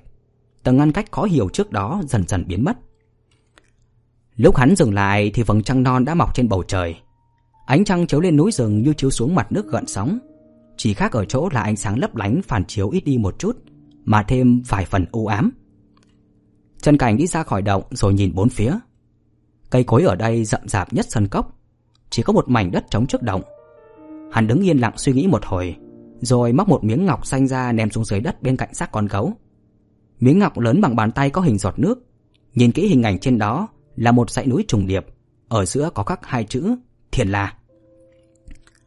Hắn ném miếng ngọc xuống đất xong chuẩn bị xoay người rời đi, thì chợt quay lại móc ra một quyển sách lụa ném xuống tiếp, sau đó mới biến mất trong rừng rậm. Lúc Trần Cảnh rời đi thì bên ngoài sân cốc có hai người xuyên qua trong rừng rậm. Trên mặt hai người này đều có khí xanh, đầu tóc rối bù, căn bản không giống người sống một chút nào. Chúng đi trong núi rừng giống như là u ảnh vậy, vừa có vẻ phiêu bồng lại vừa có thêm một chút âm trầm. Bọn chúng cũng không phải là người, mà là vong hồn ác quỷ truy đuổi Trần Cảnh. Hơn nữa lại không phải là cô hồn giác quỷ.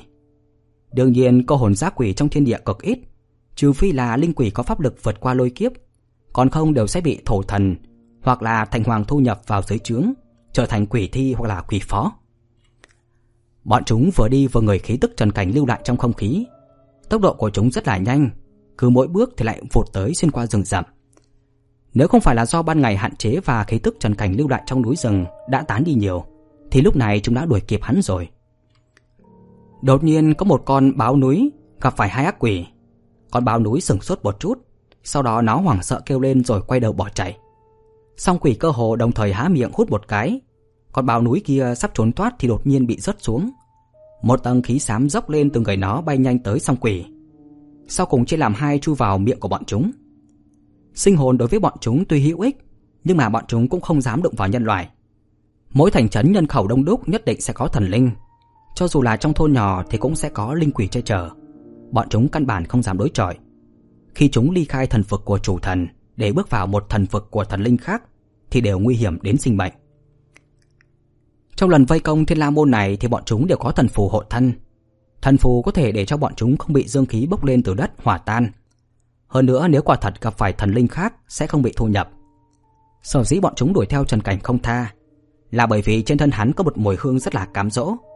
Với bất kỳ người tu hành nào, hương vị phát ra từ linh hồn đều cực kỳ mê người, nhưng mà cũng cực kỳ nguy hiểm. Không bao lâu sau thì bọn chúng đã chui ra khỏi rừng rậm, đi vào trong sân cốc. Xác con gấu không khiến chúng bất ngờ, vì đã đánh hơi thấy từ xa. Nhưng mà khi nhìn thấy miếng ngọc xanh và quyển sách lụa bên cạnh Thì cả hai đều lộ vẻ kinh hỉ Đối với bọn chúng, Ngọc Thành có thể hộ hồn Là vật khó lấy được, Còn pháp môn tu hành của đạo gia lại càng là vật trong mơ. Cả hai lập tức nhào tới, Nhặt một miếng ngọc và một quyển sách lụa. Thực sự là thứ tốt, Không ngờ chúng ta có thể gặp may mắn đến như vậy. Đúng vậy đúng vậy. Một thanh kiếm như có sinh mệnh từ trong rừng rậm đâm tới. Thanh kiếm cực kỳ linh động, Không hề chạm phải một cành cây nào. Thân kiếm được bao phủ bởi tầng ánh sáng trắng nhạt Kéo thành một vệt màu trắng trong rừng núi u ám. Trong lúc song quỷ đang hưng phấn, Thì tựa hồ nghe được một âm thanh gì đó, Vừa chói tai lại vừa như tiếng mũi vò ve. Song quỷ kinh hãi, Một tên bỗng nhiên quay đầu lại, Đập vào mắt nó là một điểm hàn quang. Nó nghe thấy tiếng rít chói tai, Còn chưa hiểu rõ gì thì đã bị thanh kiếm chém xả tới, Hóa thành một luồng sương mù bay lên. Thanh kiếm ở trong không trung không hề trì trệ một chút nào. Nó thuận thế chuyển qua chém vào eo tên còn lại rồi bay ngược về hướng cũ. Chỉ khác là kiếm thế lúc nãy đã trở nên nặng nề hơn nhiều Không còn linh hoạt như lúc đầu nữa. Trần Cảnh từ trong rừng rậm chui ra Tiếp lấy thanh kiếm Tay trái miết nhanh vào thân kiếm hai lượt. Nhìn kỹ lại thì nó đã bị nhiễm phải khí xanh nhàn nhạt, nhạt. Nếu không kịp thời dùng linh khí tẩy luyện Thì sẽ hình thành dỉ xanh. Hắn nhanh chóng nhặt lấy miếng ngọc xanh tượng trưng cho đệ tử Thiên La Môn và quyển sách lụa lên. Trong khoảnh khắc đang định nhét cả hai thứ vào trong lòng, thì hắn đột nhiên dừng động tác rồi quay đầu lại nhìn. Chỉ thấy một người đang đứng yên lặng trên đỉnh núi đối diện. Bởi vì chỗ Trần Cảnh đang đứng là một mảnh đất trống nhỏ nên song phương đều có thể nhìn thấy rõ nhau. Người đó mặc áo gấm màu đen, nhìn qua khoảng trường khoảng 27-28 tuổi. Mắt hắn như đang cười. Ý cười này không khiến cho người đối diện có cảm giác ôn hòa, mà lại cảm thấy sự kiêu ngạo, phảng phất có sự xem thường, lại phảng phất như muốn nói trong mắt ta, ngươi chỉ là một trò hề. Trong tu hành mặc dù có không ít phương pháp cảm nhận khí tức, nhưng mà rất khó xác định tu vi của người tu hành, bởi vì mỗi người tu hành đều biết thu liễm khí tức bản thân. Tuy nhiên cho dù thế nào thì vào lúc đối mặt, chỉ cần nhạy cảm là có thể nhận biết được thực lực của đối phương. Cảm giác huyền hoặc sâu xa này khó có thể miêu tả, hơn nữa không phải là ai cũng có. Vào lúc này thì Trần Cảnh đang có cảm giác đó. Hắn cảm nhận được pháp lực của đối phương nên xoay người luôn vào trong rừng sâu bỏ chạy. Vì chui vào rừng sâu nên hắn không biết rằng người mặc cẩm bào màu đen không chỉ có ánh mắt mà miệng cũng khẽ cười. Y nhìn Trần Cảnh chui vào trong rừng cũng không vội truy đuổi mà thì thảo tự nói. Không ngờ thời buổi này còn có người luyện kiếm, còn muốn một kiếm phá vạn pháp sao?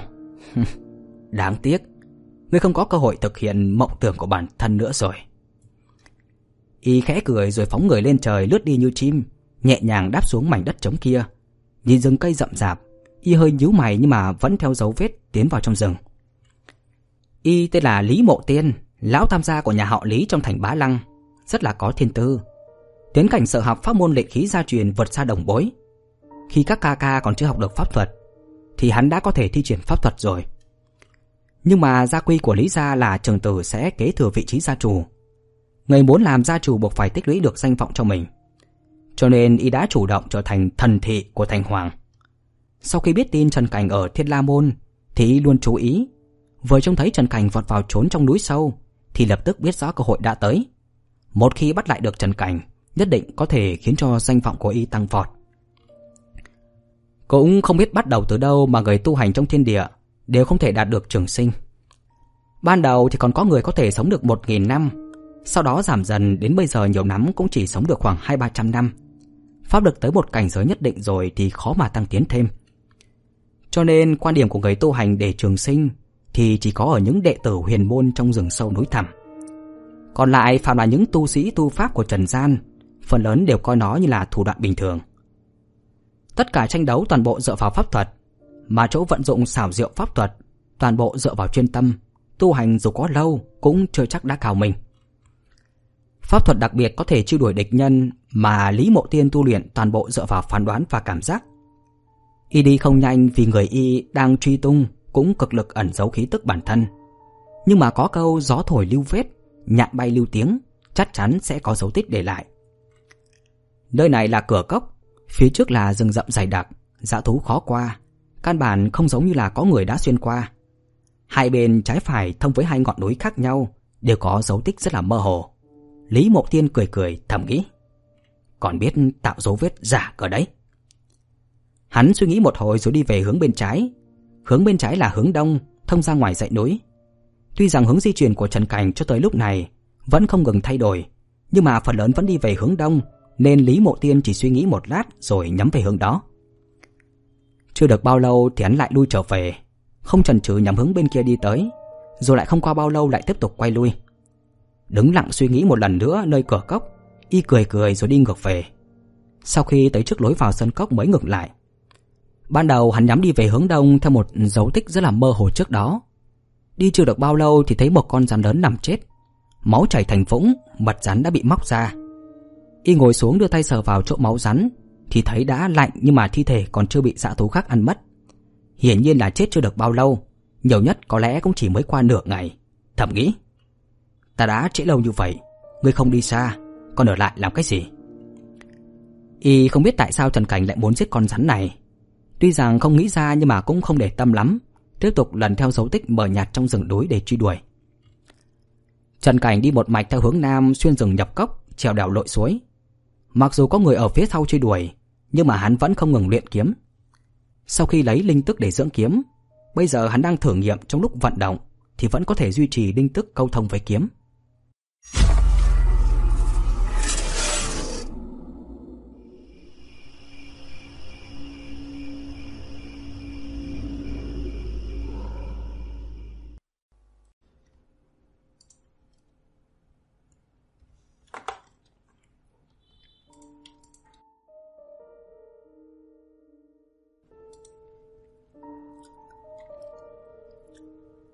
Luyện kiếm, dưỡng kiếm.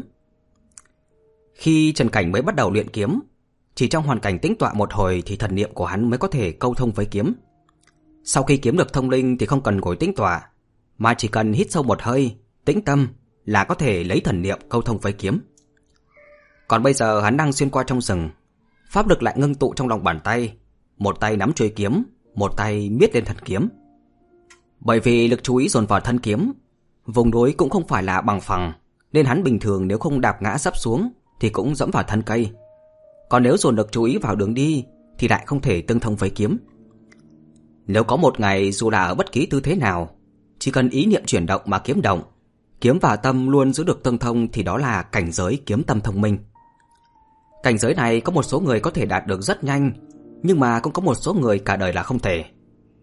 Trong phù du kiếm kinh thì cũng không có phương pháp gì đặc biệt có thể khiến người ta đạt tới cảnh giới này. Chỉ có viết rằng, ngày đêm dưỡng kiếm, tĩnh tâm tĩnh thần, trong lòng chỉ tồn tại duy nhất kiếm, không hề có tạp niệm khác. 10 năm thì có thể đạt được kiếm tâm thông minh.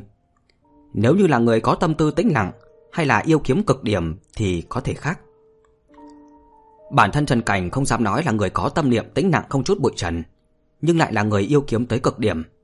Nếu không phải như thế, hắn cũng không có khả năng bỏ qua không học nhiều pháp thuật như vậy, mà chỉ chuyên tâm muốn học mỗi kiếm thuật. Hắn xuyên qua rừng rậm, một tay nắm chuôi kiếm, lòng bàn tay kia thì xúc tích linh tức, không ngừng trà sát lên thân kiếm. Trong lòng nhớ về lúc còn nhỏ, cứ luôn khẩn cầu lão kiếm khách muốn học kiếm.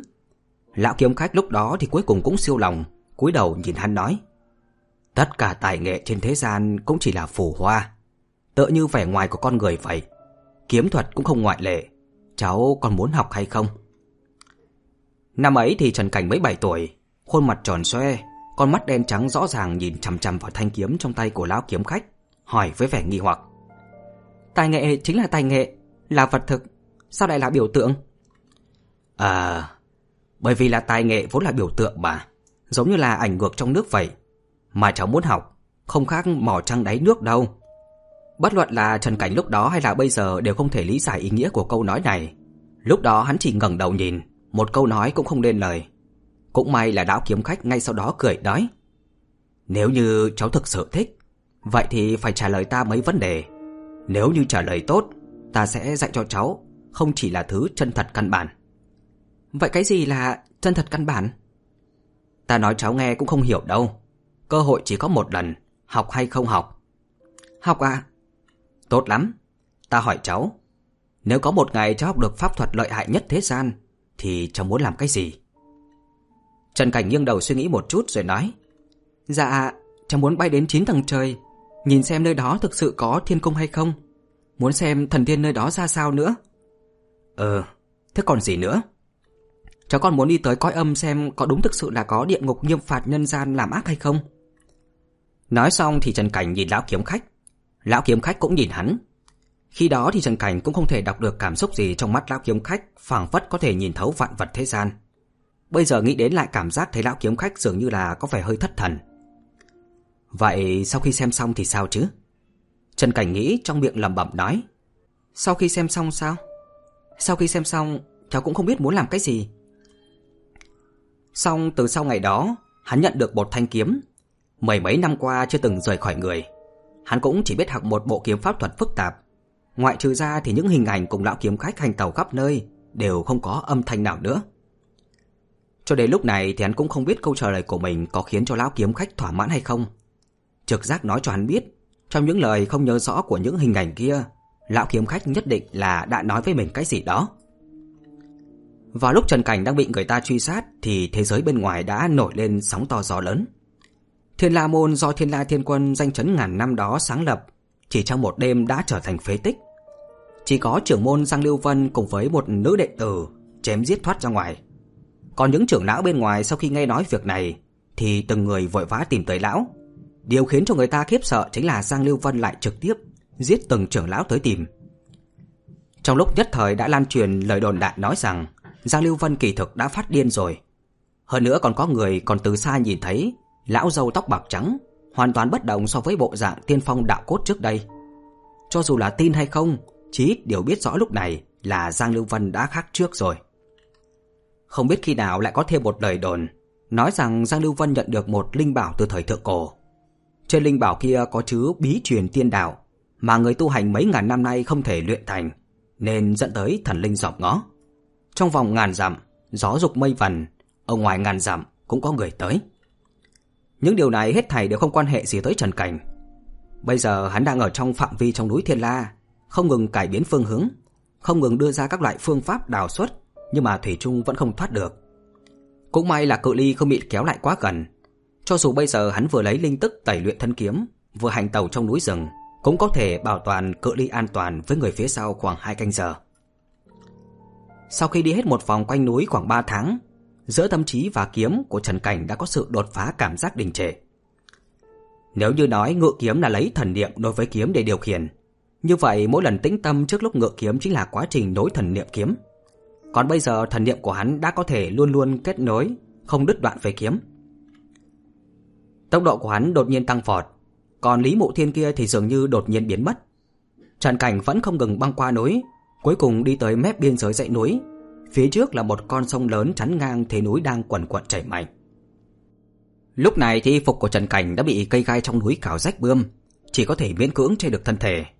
Hắn đưa mắt nhìn xung quanh, Thiên La Môn sớm đã bị núi đồi xanh ngắt bất tận che phủ.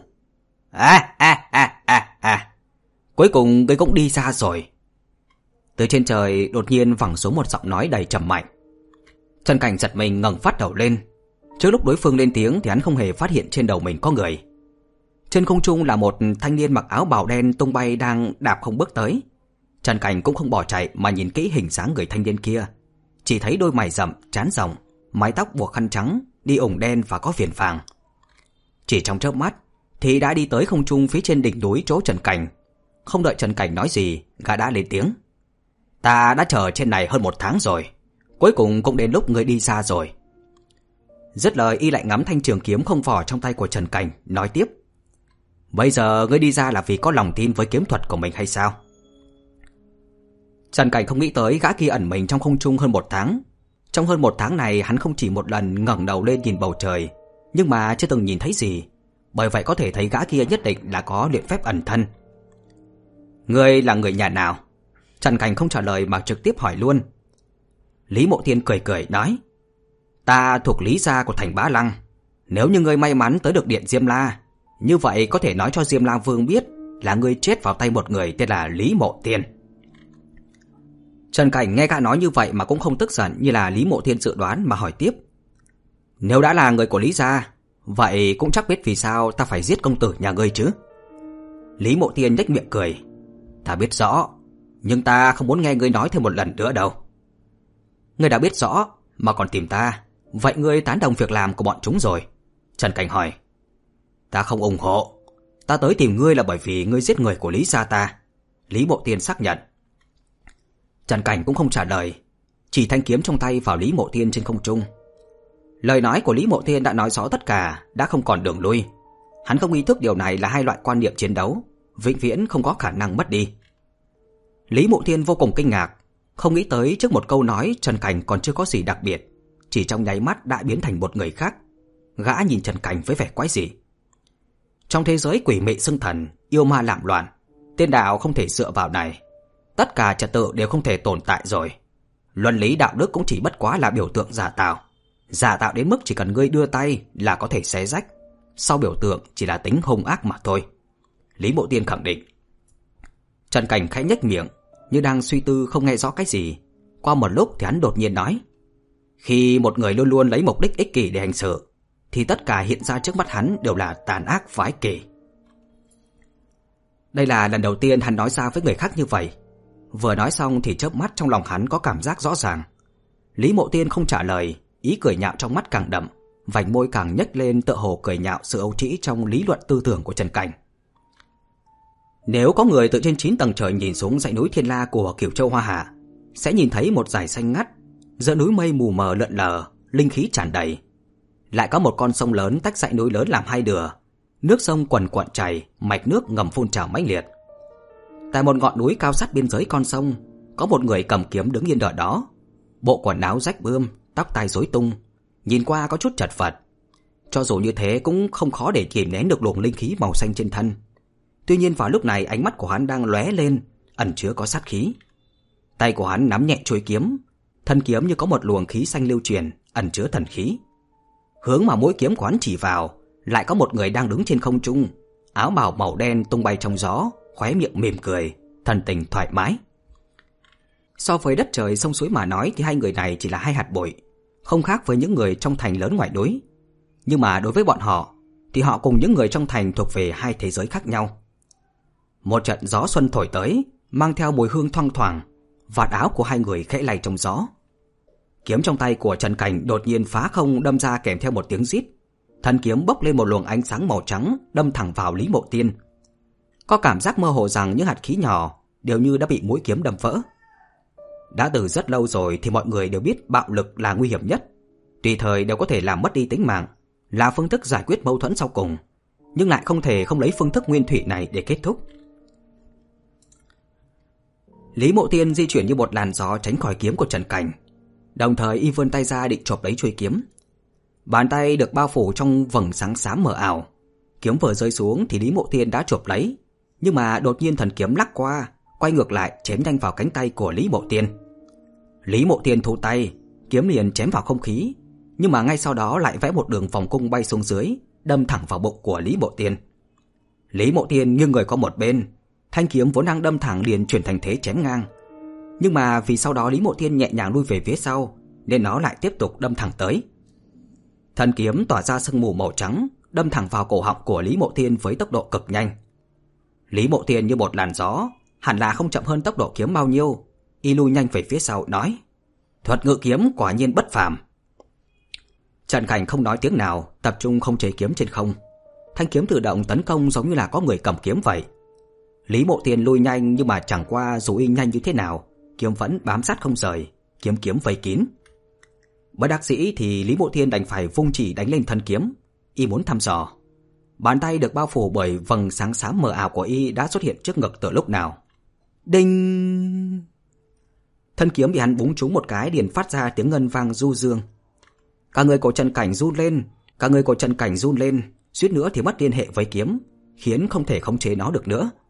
Hắn vội vàng thu liễm tâm thần, tập trung toàn bộ tâm niệm vào việc khống chế thân kiếm. Nhưng ngay vào lúc đó, Lý Mộ Thiên vươn tay ra chộp lấy chuôi kiếm. Kiếm bị đánh bay, Trần Cảnh cũng chỉ thất thần trong một khoảnh khắc, nhưng mà khi phục hồi tinh thần thì lại phát hiện tay phải của Lý Mộ thiên đã chộp lấy chuôi kiếm. Đầu quán căng ra, đột nhiên kiếm lấy chuôi kiếm làm tâm xoay, xoay một vòng trên không trung, chật vật thoát khỏi tay của Lý Mộ thiên rồi vạch một đường chém vào cổ tay của y.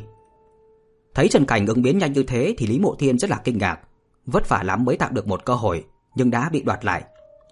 Y đâu có biết rằng Trần Cảnh luyện kiếm thuật đã hơn 10 năm. Mặc dù lúc này Trần Cảnh không dùng tay không chế kiếm, nhưng mà kiếm chiêu vẫn là những kiếm chiêu đó. Từng kiếm phong tỏa ra hay tấn công còn nhanh hơn lúc hắn cầm kiếm gấp mấy lần. Và bây giờ thì Trần Cảnh mới phát hiện ra bộ kiếm chiêu lão kiếm khách dạy mình vô cùng cao minh. Ngừng, đâm, gọt, chém, phẩy, bạt, liên tục không ngừng. Chỉ vì nhất thời kinh thường nên giờ đây Lý Mộ Tiên đã bị vây trong lưới kiếm không thể thoát thân được. Ban đầu né tránh còn không tốn sức mấy, nhưng mà kể từ lúc Trần Cảnh cho rằng có thể xem việc ngựa kiếm trở lên vô hình, thì kiếm chiêu liên liên biến đổi. Cái cảm giác cứng ngắc khi ngựa kiếm chiến đấu với người nhanh chóng biến mất. Chỉ trong chốc lát thì kiếm thế đã biến đổi. Lý Mộ Thiên kinh hãi, hai cánh tay trong tay áo rộng thùng thình khẽ rung lên, thân thể như một làn gió tránh né lưới kiếm. Đột nhiên tay của y lại xuất hiện, ánh sáng mờ càng lúc càng đậm lên, trông như là một con rắn độc phổ tới. Ngón tay lại đánh vào thân kiếm. Nhưng mà ngay lúc ngón tay của Lý Mộ Thiên mới nhúc nhích, chuẩn bị đánh tới thân kiếm thì kiếm liền đổi hướng. Kiếm thế đổi từ đâm thành chém. Lý Mộ Thiên kinh hãi, lập tức rút ngón tay về, nhưng mà sao có thể tránh kịp được. Lưỡi kiếm chém nhanh tới, lưỡi kiếm chém vào ngón tay trong sương mù màu xám, tạo nên một âm thanh như là tiếng kim loại va chạm. Lý Mộ Thiên la lên thất thanh rồi bay ngược về sau, nhưng mà lưỡi kiếm lại theo sát bên người. Quanh thân kiếm còn có một quầng sáng trắng bao phủ, liên tục chém vào người của Lý Mộ Thiên, làm cho Lý Mộ Thiên bị vây trong không gian nhỏ, không thể nào thoát thân được. Nếu như có người thấy Lý Mộ Thiên nổi tiếng khắp thành Bá Lăng lại rơi vào tình cảnh này thì nhất định sẽ là cảm thấy không thể tin được. Có nhiều người cho rằng Lý Mộ Thiên là đệ nhất cao thủ ở thành Bá Lăng, nhưng mà vị cao thủ này bây giờ lại bị Trần Cảnh dùng một kiếm vây ở không trung, không thể thoát thân được. Ngón trỏ của Lý Mộ Thiên bị chém, mặc dù không gãy nhưng mà rất đau. Y giận dữ, sắc mặt xanh mét. Y đột nhiên lấy một lá bùa màu vàng nhạt trong ngực ra, miễn cưỡng đọc chú ngữ. Lá bùa kia lập tức hóa thành một quầng sáng màu vàng rồi bao phủ cả người Y lại. Trần Cảnh không biết Y muốn dùng pháp thuật gì, đành phải biến thế kiếm càng lúc càng siết chặt hơn, nhưng mà lại phát hiện thân thể Y từ từ mở đi, trở nên hư ảo, rồi cuối cùng nhạt như một làn khói, rung lên một cái rồi biến mất trong gió. Ngay thời khắc Lý Mộ Thiên biến mất, Trần Cảnh cũng nhắm mắt lại, tay phải kết thành hình kiếm đặt ở trước ngực. Thanh kiếm đang ở bên ngoài lập tức quay nhanh về, vần quanh người của hắn. Nếu như nhìn từ xa thì chỉ thấy trên đỉnh ngọn núi xanh có một người mặc áo rách nát, đầu tóc xõa tung, hai chân trần trụi đang đứng. Tóc đen xốc xách và quần áo rách dưới người này tung bay theo gió, khuôn mặt như một lão tăng đang nhập định vậy. Có một con chim màu sắc rực rỡ bay lên từ bụi cây, dường như nó cảm thấy lạ khi ở đây có thêm một người, muốn bay xuống xem cho rõ. Đột nhiên có một luồng kiếm quang xẹt qua hư không, con chim này còn chưa kịp có phản ứng đã bị chém thảm hai. Trần Cảnh nhắm mắt lại, dùng tâm niệm điều khiển phi kiếm. Lúc này hắn cảm thấy trời đất xung quanh đã dần tối lại. Tuy có thể thấy bên cạnh có vài cọng cỏ bông hoa mờ mờ, nhưng mà ở xa thì tối đen như mực, không thể thấy gì. Tuy xung quanh là một màu đen, nhưng mà bóng tối ở nơi này lại yên lặng bình thản như một đầm nước sâu êm ả. Khi con chim bay trong không gian này thì bóng tối bỗng rung lên tự như là bị kích thích. Ban đầu thì Trần Cảnh cho rằng Lý Mộ Thiên tới gần nên đã không chế kiếm chém, nhưng mà lúc chém xong mới biết là không phải. Thuật ẩn thân không khó luyện, nhưng mà cũng không dễ. Khác biệt lớn nhất với thuật độn thổ chính là ở chỗ không có tiếng động nào, nên người khác rất khó phát hiện. Các môn phái khác cũng có thuật ẩn thân, thuật độn thổ. Có lẽ ban đầu thì các nơi không khác nhau lắm, nhưng mà sự khác biệt càng về sau càng lớn. Tất nhiên là Thiên La Môn cũng có thuật ẩn thân và thuật độn thổ. Trần Cảnh mặc dù không tu luyện nhưng mà cũng từng xem qua thuật pháp ẩn thân của Thiên La Môn trong một quyển sách. Mà quyển sách đó có nhắc đến phương pháp phá thuật ẩn thân. Hiện giờ thì Trần Cảnh đang sử dụng phương pháp đó, nhắm mắt lại, dùng toàn bộ niệm lực để cảm ứng. Nếu thần niệm của ngươi mạnh mẽ thì chỉ cần người ẩn thân tới gần một chút là sẽ phát hiện ra ngay. Đây chính là phương pháp phá thuật ẩn thân của Thiên La Môn. Trần Cảnh không biết thuật pháp ẩn thân của Lý Mộ Thiên khác thuật ẩn thân của Thiên La Môn như thế nào, nhưng mà hắn cũng không biết phương pháp khác để phá thuật ẩn thân, nên đành dùng phương pháp phá thuật ẩn thân của Thiên La Môn. Đột nhiên thì Trần Cảnh cảm giác trong bóng tối yên tĩnh có dao động, vô cùng nhẹ, giống như là nước gợn khi gió nhẹ lướt qua vậy. Tâm niệm vừa động, kiếm đã chém tới. Theo những gì mà Trần Cảnh cảm giác được xung quanh thân kiếm có ánh sáng trắng nhạt, vừa đi qua là bóng tối lại sáng lên, nhưng mà cảnh vật xung quanh rất mơ hồ. Phi kiếm chém qua không gặp chút trở ngại nào. Trần Cảnh cũng không thu tay lại. Thân kiếm chuyển động tạo thành một giải kiếm ảnh phá tan không gian bóng tối kia. Trong lúc kiếm quang tung hoành thì Trần Cảnh mơ hồ thấy thân ảnh của Lý Mộ Tiên lưu nhanh về phía sau, biến mất trong bóng tối. Tuy thấy thế nhưng mà Trần Cảnh không thể phi kiếm đuổi theo, bởi vì nơi đó cách đây rất xa, đã vượt ra khỏi phạm vi thần niệm Trần Cảnh có thể bao lấy. Trần Cảnh vui mừng, không ngờ phi kiếm phối hợp với thần niệm lại có thể phá thuật ẩn thân của Lý Mộ Tiên. Thanh kiếm vẫn chuyển động xung quanh hắn như một con cá mập đang tuần tra lui tới trong nước, lúc nào cũng có thể cắn con mồi. Mười thước quanh thân hắn chính là phạm vi thần niệm quán có thể bao phủ hoàn toàn. Hắn nhắm mắt lại, cảm giác không gian xung quanh vô cùng tối, rất là tĩnh lặng. Trong bóng tối tĩnh lặng ấy, chỉ có một ánh sáng duy nhất chính là thanh kiếm này. Những nơi kiếm đi qua đều có ánh sáng mờ nhạt chiếu sáng. Lúc kiếm rời đi, nơi đó lại trở thành bóng tối. Đột nhiên có dao động trong bóng tối yên lặng. Kiếm thế thay đổi, đâm thẳng vào một nơi đằng xa. Ngày giây khắc đó, dao động đó thì giống như là có một con cá vừa ló ra từ mặt nước sâu, làm cho mặt nước nổi bọt một chút rồi chìm ngay vào trong nước, mặt nước lại tĩnh lặng. Những người ở thành Bá Lăng đã từng thấy Lý Mộ Tiên ra tay, điều làm cho mọi người ấn tượng nhất chính là việc y dùng tay không để đón pháp bảo pháp thuật. Thì mới chỉ thấy hai ba lần nhưng mà lần nào lần đấy, y cũng dùng bàn tay được ánh sáng xám bao phủ để thu lấy pháp thuật hoặc là pháp bảo đánh tới. Lần nào cũng là pháp thuật bị tán đi, pháp bảo bị hắn thu. Nhưng mà chưa có ai thấy y sử dụng pháp thuật nào. Bây giờ khi chiến đấu với Trần Cảnh, y muốn thu lấy kiếm của Trần Cảnh, nhưng mà không thể nào làm được. Muốn tới gần được Trần Cảnh thì bị thanh kiếm đó ngăn cản. Mặc dù bây giờ đã dùng pháp thuật ẩn thân, nhưng mà vẫn không thể tới gần được. Đột nhiên có một dao động cực kỳ mạnh mẽ đánh thẳng tới Trần Cảnh, khí thế giống như là một con cá lớn vọt lên khỏi mặt nước. Trần Cảnh hơi kinh hãi, vội vàng không chế kiếm, thanh kiếm liền tỏa sáng chém thẳng tới luồng dao động đó. ầm một tiếng, ánh lửa lóe lên. Lý Mộ Tuyên tung một quyền đánh lên lưỡi kiếm, lưỡi kiếm bị đánh bay lên cao. Tâm thần của Trần Cảnh chấn động, cảm thấy hơi choáng váng, thần địa bao phủ phương viên mười thước nhất thời tản đi. Hắn vội vàng thu liễm tâm thần, khi mở mắt ra lại phát hiện Lý Mộ Tiên đã đến gần, sát khí hiện rõ trong mắt. Trong tay của Trần Cảnh bây giờ không có kiếm, tâm thần lại đang loạn, trong lúc nhất thời khó câu thông được với kiếm đã bị đánh bay, đành phải tung một quyền ra như trước.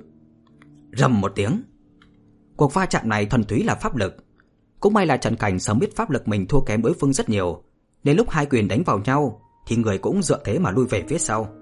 Nhưng mà vì pháp lực thua kém nên bị bay về sau rất xa. Người còn ở trên không trung thì đã phun ra một ngụm máu tươi. Còn Lý Mộ Tiên chỉ khựng lại một chút rồi liền đuổi theo. Y tung thêm một quyền đánh tới Trần Cảnh, đầu quyền được ánh sáng màu xám bao phủ. Trần Cảnh bây giờ giống như là một con chim lớn gãy cánh rơi từ trên đỉnh núi xuống con sông lớn đang chảy quần quần. Tuy thấy Lý Mộ Tiên sát khí đằng đằng đang đạp không lao xuống, nhưng mà tâm niệm của hắn lại trở nên rất là bình tĩnh. Tác dụng của việc dưỡng kiếm bao nhiêu năm nay giờ đã hiện ra rõ. Lúc còn ở Thiên La Môn thì trước khi ngựa kiếm, hắn không được hành động, phải toàn tâm toàn ý để ngựa kiếm, không để đến mọi việc bên ngoài nữa. Nhưng mà vào lúc này, khi thân còn ở trên không trung thì hắn đã quên an nguy của bản thân, một lần nữa câu thông với kiếm. Lý Mộ Tiên lao thẳng xuống, vừa tung quyền vừa lạnh lùng nói: "Mặc dù ngươi cũng có chút thiên phú, nhưng mà hôm nay phải táng thân ở đây rồi." Y khẽ cười một tiếng, chân đạp hư không đạp xuống. Theo y thì Trần Cảnh đã phải chết ngay bây giờ, bây giờ mà không chết thì sau này hắn sẽ là một nhân vật rất là nguy hiểm. Y đánh một quyền, giống như là một con chi bưng lão luyện từ trên không trung lao xuống bắt con mồi. Y biết rằng nếu như một quyền này đánh trúng thì Trần Cảnh chắc chắn phải chết. Hơn nữa y còn có lòng tin sẽ đánh trúng trước khi đối phương rơi xuống sông. Ngay vào lúc này thì thấy Trần Cảnh đang rơi xuống đột nhiên vươn chỉ ra, đồng thời lại nghe thấy một tiếng thét khàn giọng hết sức. Chém! Y bỗng nhiên cảm thấy gáy trở nên lạnh toát, giống như là bị nước đá rội xuống đỉnh đầu. Lý Mộ Thiên kinh hãi, không thể ngờ rằng trong lúc này mà Trần Cảnh vẫn còn có thể ngự kiếm. Y lắc mình đồng thời vung tay hộ thân. Y rất cẩn thận khi đối mặt với thanh kiếm này. Trong lòng của Y chưa có người nào có thể bắt Y phải sử dụng toàn bộ bản lĩnh như khi đối mặt với thanh kiếm mới thông linh này. Kiếm từ phía sau Lý Mộ Thiên chém xuống, kiếm quang óng ánh như sương tuyết, tỏa ra sát khí lạnh đến thấu xương. Có một tiếng kêu đau đớn vang lên. Có một cảm giác đau đớn từ cánh tay chuyển đến, rồi một làn máu tươi vẩy khắp không trung, một cánh tơi rơi xuống dòng sông. ầm một tiếng, Trần Cảnh rơi xuống nước, nhưng mà trước đó hắn vẫn còn miễn cưỡng chụp được thanh kiếm. Lý Mộ Tiên dừng lại không đuổi theo cánh tay đang rơi xuống dòng sông lớn kia, rồi xoay người trở về đỉnh núi. Y dõi mắt nhìn dòng sông lớn đang chảy quần quần, nhưng mà không thể thấy Trần Cảnh được. Hắn ta đã sớm bị dòng sông cuộn trôi rồi. Máu tươi nhỏ từng giọt trên đỉnh núi, một lát sau đã nhuốm đỏ đời đó.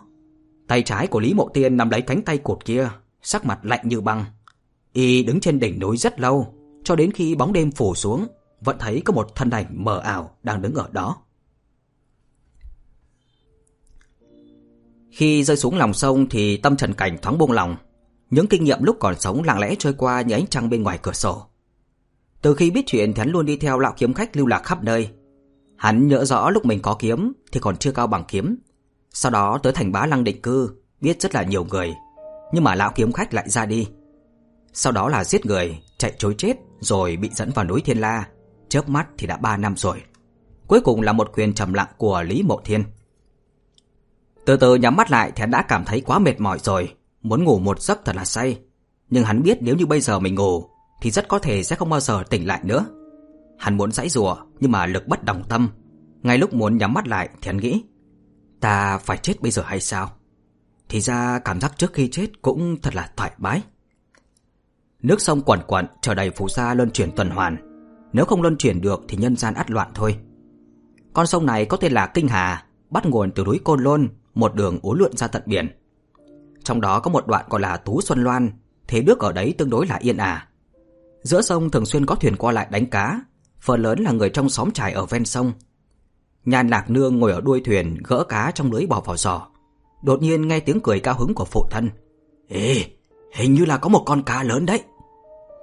Nhan phụ vừa kéo lưới vừa cười lớn.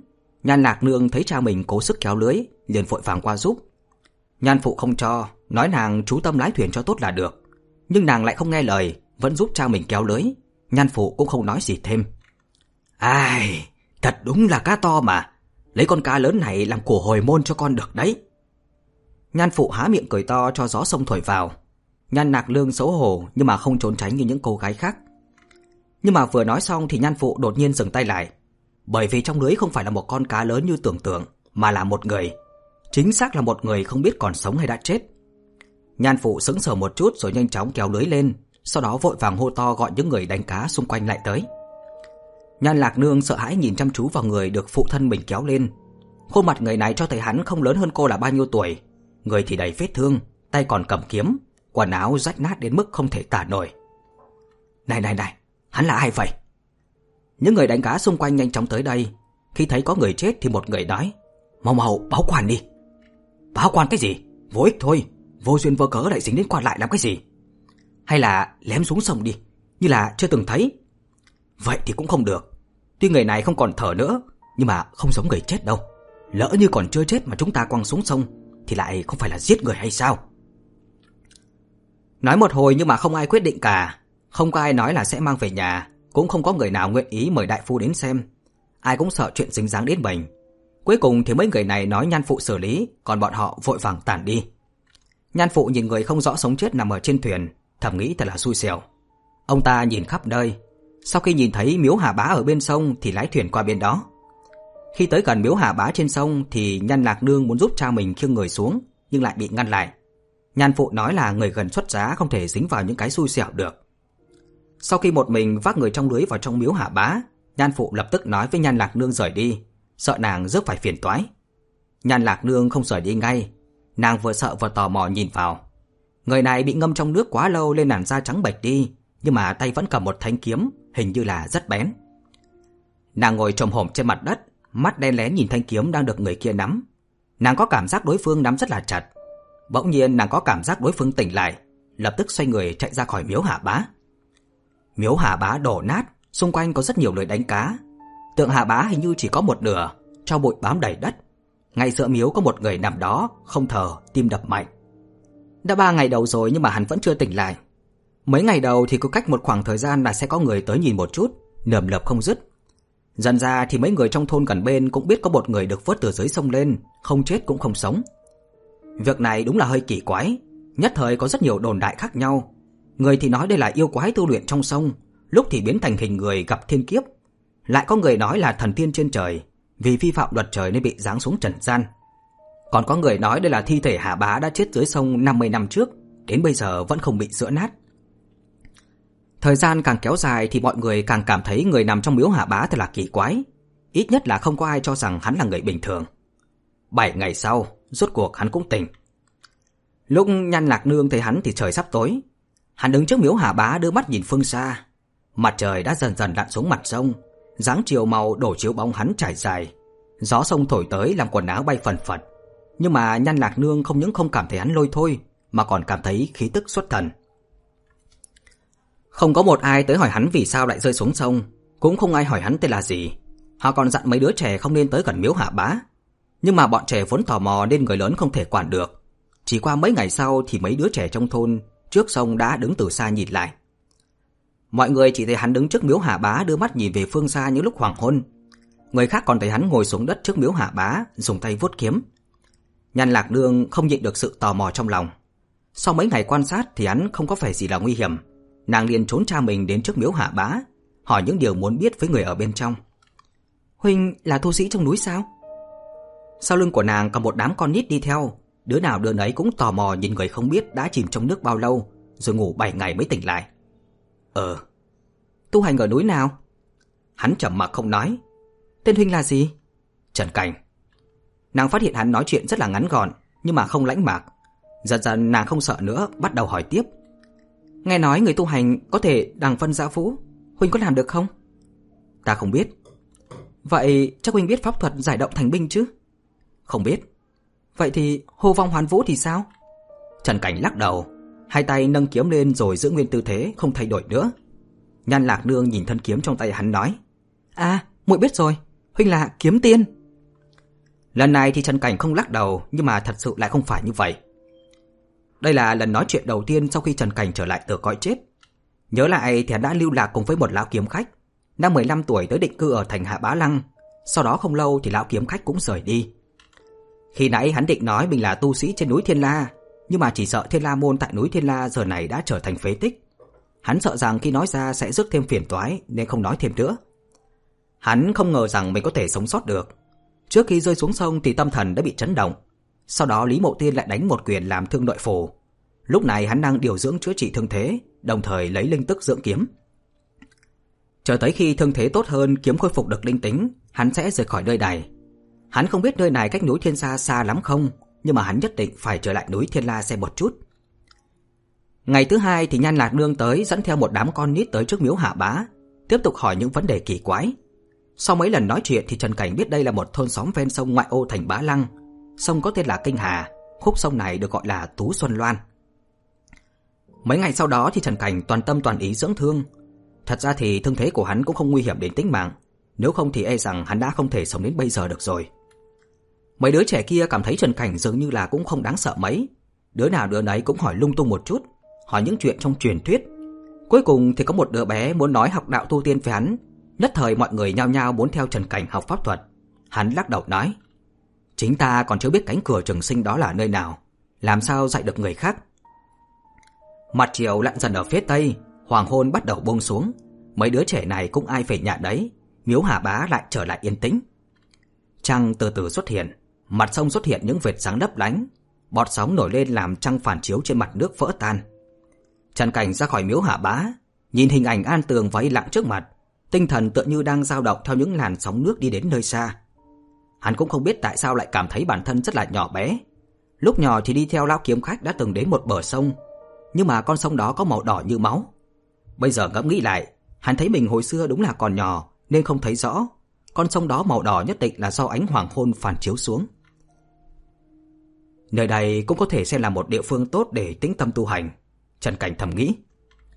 Hắn đang mặc bộ đồ vải thô màu đen do nhan lạc nương may. Tuy bộ đồ này hơi rộng nhưng mà khi mặc vẫn cho người ta cảm giác hắn thoát tục. Bầu trời khuya nay không có mây, tuy trăng không tròn nhưng lại sáng, làm cho mặt nước trông rất là mỹ lệ. Dưới ánh trăng thì không biết từ lúc nào, mặt nước đã có sương mù loáng thoáng bay lên. Trong đám sương mù ấy thì đột nhiên có một con cá khổng lồ xuất hiện trước mặt sông. Con cá này to như thuyền đánh cá, ở ngay trán có một cái vảy lấp lánh dưới ánh trăng. Nó thở ra sương mù, trong sương mù lại có một viên nội đan màu đỏ hút lấy tinh hoa ánh trăng. Trần Cảnh híp mắt lại, không thể ngờ nơi này lại có cá thành tinh. Đang muốn nhìn kỹ thì cá kia cũng phát hiện ra hắn, nó nuốt nội đan lại, tức giận giống lên. Đạo nhân hoang dã ở nơi nào, dám nhìn trộm pháp môn trường sinh của bổn thần. Dứt tiếng thì một con sóng lớn quặn lên, khi xuất hiện thì đã ở dưới vùng nước cách miếu hạ bá không xa. Trần Cảnh đứng yên bất động. Tuy đây là lần đầu tiên nhìn thấy yêu tu có linh trí, nhưng mà hắn không hề sợ.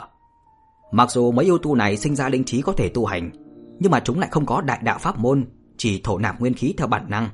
Hơn nữa chúng cũng không tinh thông pháp thuật, dù có pháp lực cao thâm hơn thì cũng không thể phát huy được. tràn Cảnh điền cười nói, À, đây là pháp môn trường sinh của ngươi sao? Chỉ là một phương pháp thổ nạp nguyên khí trong thiên địa thô thiện mà thôi. Bồn thần có thể hít mây nhà xương, làm mưa làm gió. Một tên tu đạo tiểu tốt như ngươi thì làm sao mà hiểu được. Mắt cá tinh giữa sông có màu vàng, lấp lánh tỏa sáng dưới ánh trăng. Hít mây nhà xương sao? ngươi chỉ hít chút nước trên sông thôi, còn nhà ra yêu khí mà thôi. Cũng dám nói là nuốt mây nhổ xương, làm mưa làm gió. Cũng chỉ là vài cái bản lãnh tầm thường của các vật trong nước mà thôi. Có gì đang nói chứ? Trần Cảnh khinh thường nói, hắn đứng yên dưới ánh trăng, trường kiếm trong tay rời vò, dường như có thể hấp thu tinh hoa của ánh trăng. Hả? Tên đạo sĩ nhà quê, dám coi thường bổn thần. Bổn thần cao hứng thì có thể hô phong hoán vũ, lúc giận thì có thể nhấn chìm vài chục dặm bờ sông. 30 dặm xung quanh đây, hàng năm người dân đều cúng tế bổn thần, hàng tháng cầu khẩn, tiểu đạo sĩ nhà ngươi có hiểu hay không hả? Cá tinh giữa sông dường như đã bị lời và ngữ khí coi thường của Trần Cảnh chọc giận. Trần Cảnh nhíu mày lạnh lùng nói: Người có được cơ duyên mà không biết tĩnh tâm tiềm tu, còn ra đây gây sóng gây gió, tự xưng là thần linh, thật là không biết trời cao đất rộng mà. Cá tinh không để ý lại nói, ngay cả hạ bá mà bổn thần còn giết, thì sợ cái gì nữa. Ngày đó bổn thần nghĩ tên tiểu đạo sĩ ngươi đã chết, nên mới bỏ qua. Bằng không thì ngươi còn sống đứng được đó sao? Một cút đi.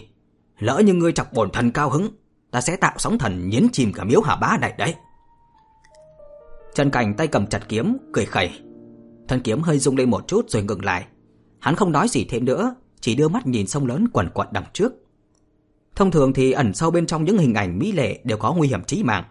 Cá tinh đang ẩn mình trong dòng sông đẹp như tranh vẽ này đây. Vạn vật thiên địa đều có linh tính, ngay cả chim thú đá hoa cũng có thể đắc đạo được. Loài cá giữa sông có thành tinh cũng không phải là việc gì quá kỳ lạ. Khi trời sắp sáng thì Nhan Lạc Nương lại dẫn một đám con nít đi tới miếu thần trước sông. Họ muốn nghe Trần Cảnh nói vài chuyện thần tiên, muốn thấy Trần Cảnh biểu diễn pháp thuật. Nhưng mà lần này Trần Cảnh lại hỏi bọn họ đã từng thấy yêu quái chưa? Vừa nghe thấy câu này thì bọn người liền im lặng không lên tiếng nữa. Trần Cảnh híp mắt lại hỏi tiếp. Mọi người biết giữa sông có cá tình chứ? Tuy hắn hỏi mọi người nhưng mà ánh mắt lại nhìn Nhan Lạc Nương. Nhan Lạc Nương nhìn miếu Hà Bá trước bờ sông, lại nhìn tượng Hà Bá một chút sau đó mới nói. Biết. Mọi người nhất thời nhìn Trần Cảnh rồi gật đầu, đôi mắt đã nói lên lời muốn nói. Nhưng mà có một đứa trẻ thấp giọng nói. Này, cha em nói đây không phải là cá tinh, là hạ Bá đấy. Trong thoáng lát thì mọi người không nói gì nữa. Thấy bọn họ như vậy thì Trần Cảnh không hiểu tại sao bọn họ lại coi cá tinh là hạ Bá. Đó không phải hạ Bá đâu, là cá tinh. Nếu như nó đúng là hạ Bá thì cũng không bắt mọi người cúng tế một đồng nam một đồng nữ hàng năm đâu. Nhan Lạc Nương đột nhiên ngẩng đầu nhìn bức tượng hạ Bá chỉ còn một nửa. Giọng của nàng vừa nặng nề vừa vang vẻ căm thù sâu sắc. Trần Cảnh thấy vậy kinh ngạc. Tối ngày hôm qua hắn có nghe nói cá tinh được mọi người hàng năm cúng tế. Hắn còn tưởng rằng là cúng tế châu bò gà vịt, nhưng mà không ngờ nó lại lấy người sống làm vật tế. Nhất thời có một cỗ sát ý xuất hiện trong lòng. Hắn lấy cớ là bốn tu luyện để nói cho mọi người rời đi. Sau đó hắn ngồi ở bên trong thần miếu, lấy linh tức chui luyện thần kiếm. Hắn đã quyết định giết con cá tinh này rồi mới rời đi cũng không buồn, vừa trừ hại được cho dân, vừa hoàn trả ân tình. Ánh trăng màu trắng tỏa khắp mặt sông, sương mù bạc phiêu đãng khắp trời đất. Đêm tối tĩnh lặng. Bỗng nhiên mọi người bị tiếng sóng xô vỗ bờ ào ào đánh thức. Lúc đầu thì mọi người không để ý lắm vì ngày hôm nay trời mưa rất lớn. Nhưng mà càng nghe mọi người càng thấy không phải. Bởi vì bên trong tiếng sóng ồn ào kia còn có một tiếng thét chói tai và những tiếng động kỳ lớn rất là kỳ lạ. Cá tình giữa sông tức giận. Nhiều người lập tức nghĩ đến điều này. Mấy người can đảm thì mộ đất cao có thể quan sát được miếu hạ bá. Chỉ thấy trước miếu hạ bá có một người đang đứng dưới ánh trăng. Một cánh tay của người này đang chuyển động tựa như đang vẽ tranh vậy. Còn trên mặt sông thì có một con cá to như thuyền câu cá đang vùng vẫy. Trên đỉnh đầu con cá này là một thanh kiếm được ánh sáng trắng mờ ảo bao phủ, du tẩu dưới ánh trăng. Thanh kiếm này giống như là một con chim vậy, từ trên cao đâm xuống rồi lui về, rồi lại đâm xuống vô cùng linh hoạt. Trong lúc kiếm quang đâm xuống thì con cá lớn giữa sông liền quẫy mình tạo ra một cơn sóng lớn, sau đó nhanh chóng chìm xuống nước. Mấy người trong thôn đó sao không biết là người này là Trần Cảnh cơ chứ? Nhưng mà lúc này mọi người lại thấy lo lắng và sợ hãi. Họ sợ Trần Cảnh chọc giận cá tinh khiến nó mất hứng, rồi tạo sóng thần chìm luôn cả thôn mình. Tuy sợ thế, nhưng mà từ tận trong đáy lòng thì bọn họ vẫn hy vọng Trần Cảnh có thể chém chết con cá tinh kia. Trận chiến kéo dài đến khi trời sáng mới kết thúc, mà trong suốt ngày hôm sau cũng không có người nào dám ra sông đánh bắt cá cả. Đến buổi trưa thì Nhan Lạc Nương tới trước miếu Hạ Bá. Nàng thấy Trần Cảnh đang ngồi nhắm mắt ngay trước miếu Hạ Bá. Khi thấy Trần Cảnh mở mắt thì nàng vui mừng hỏi: "Thì ra huynh biết pháp thuật thật?" Vừa dứt lời, nàng liền chỉ vào thanh kiếm trên đầu gối của Trần Cảnh nói tiếp: "Thanh kiếm của huynh còn biết bay nữa, giống như tia chớp vậy."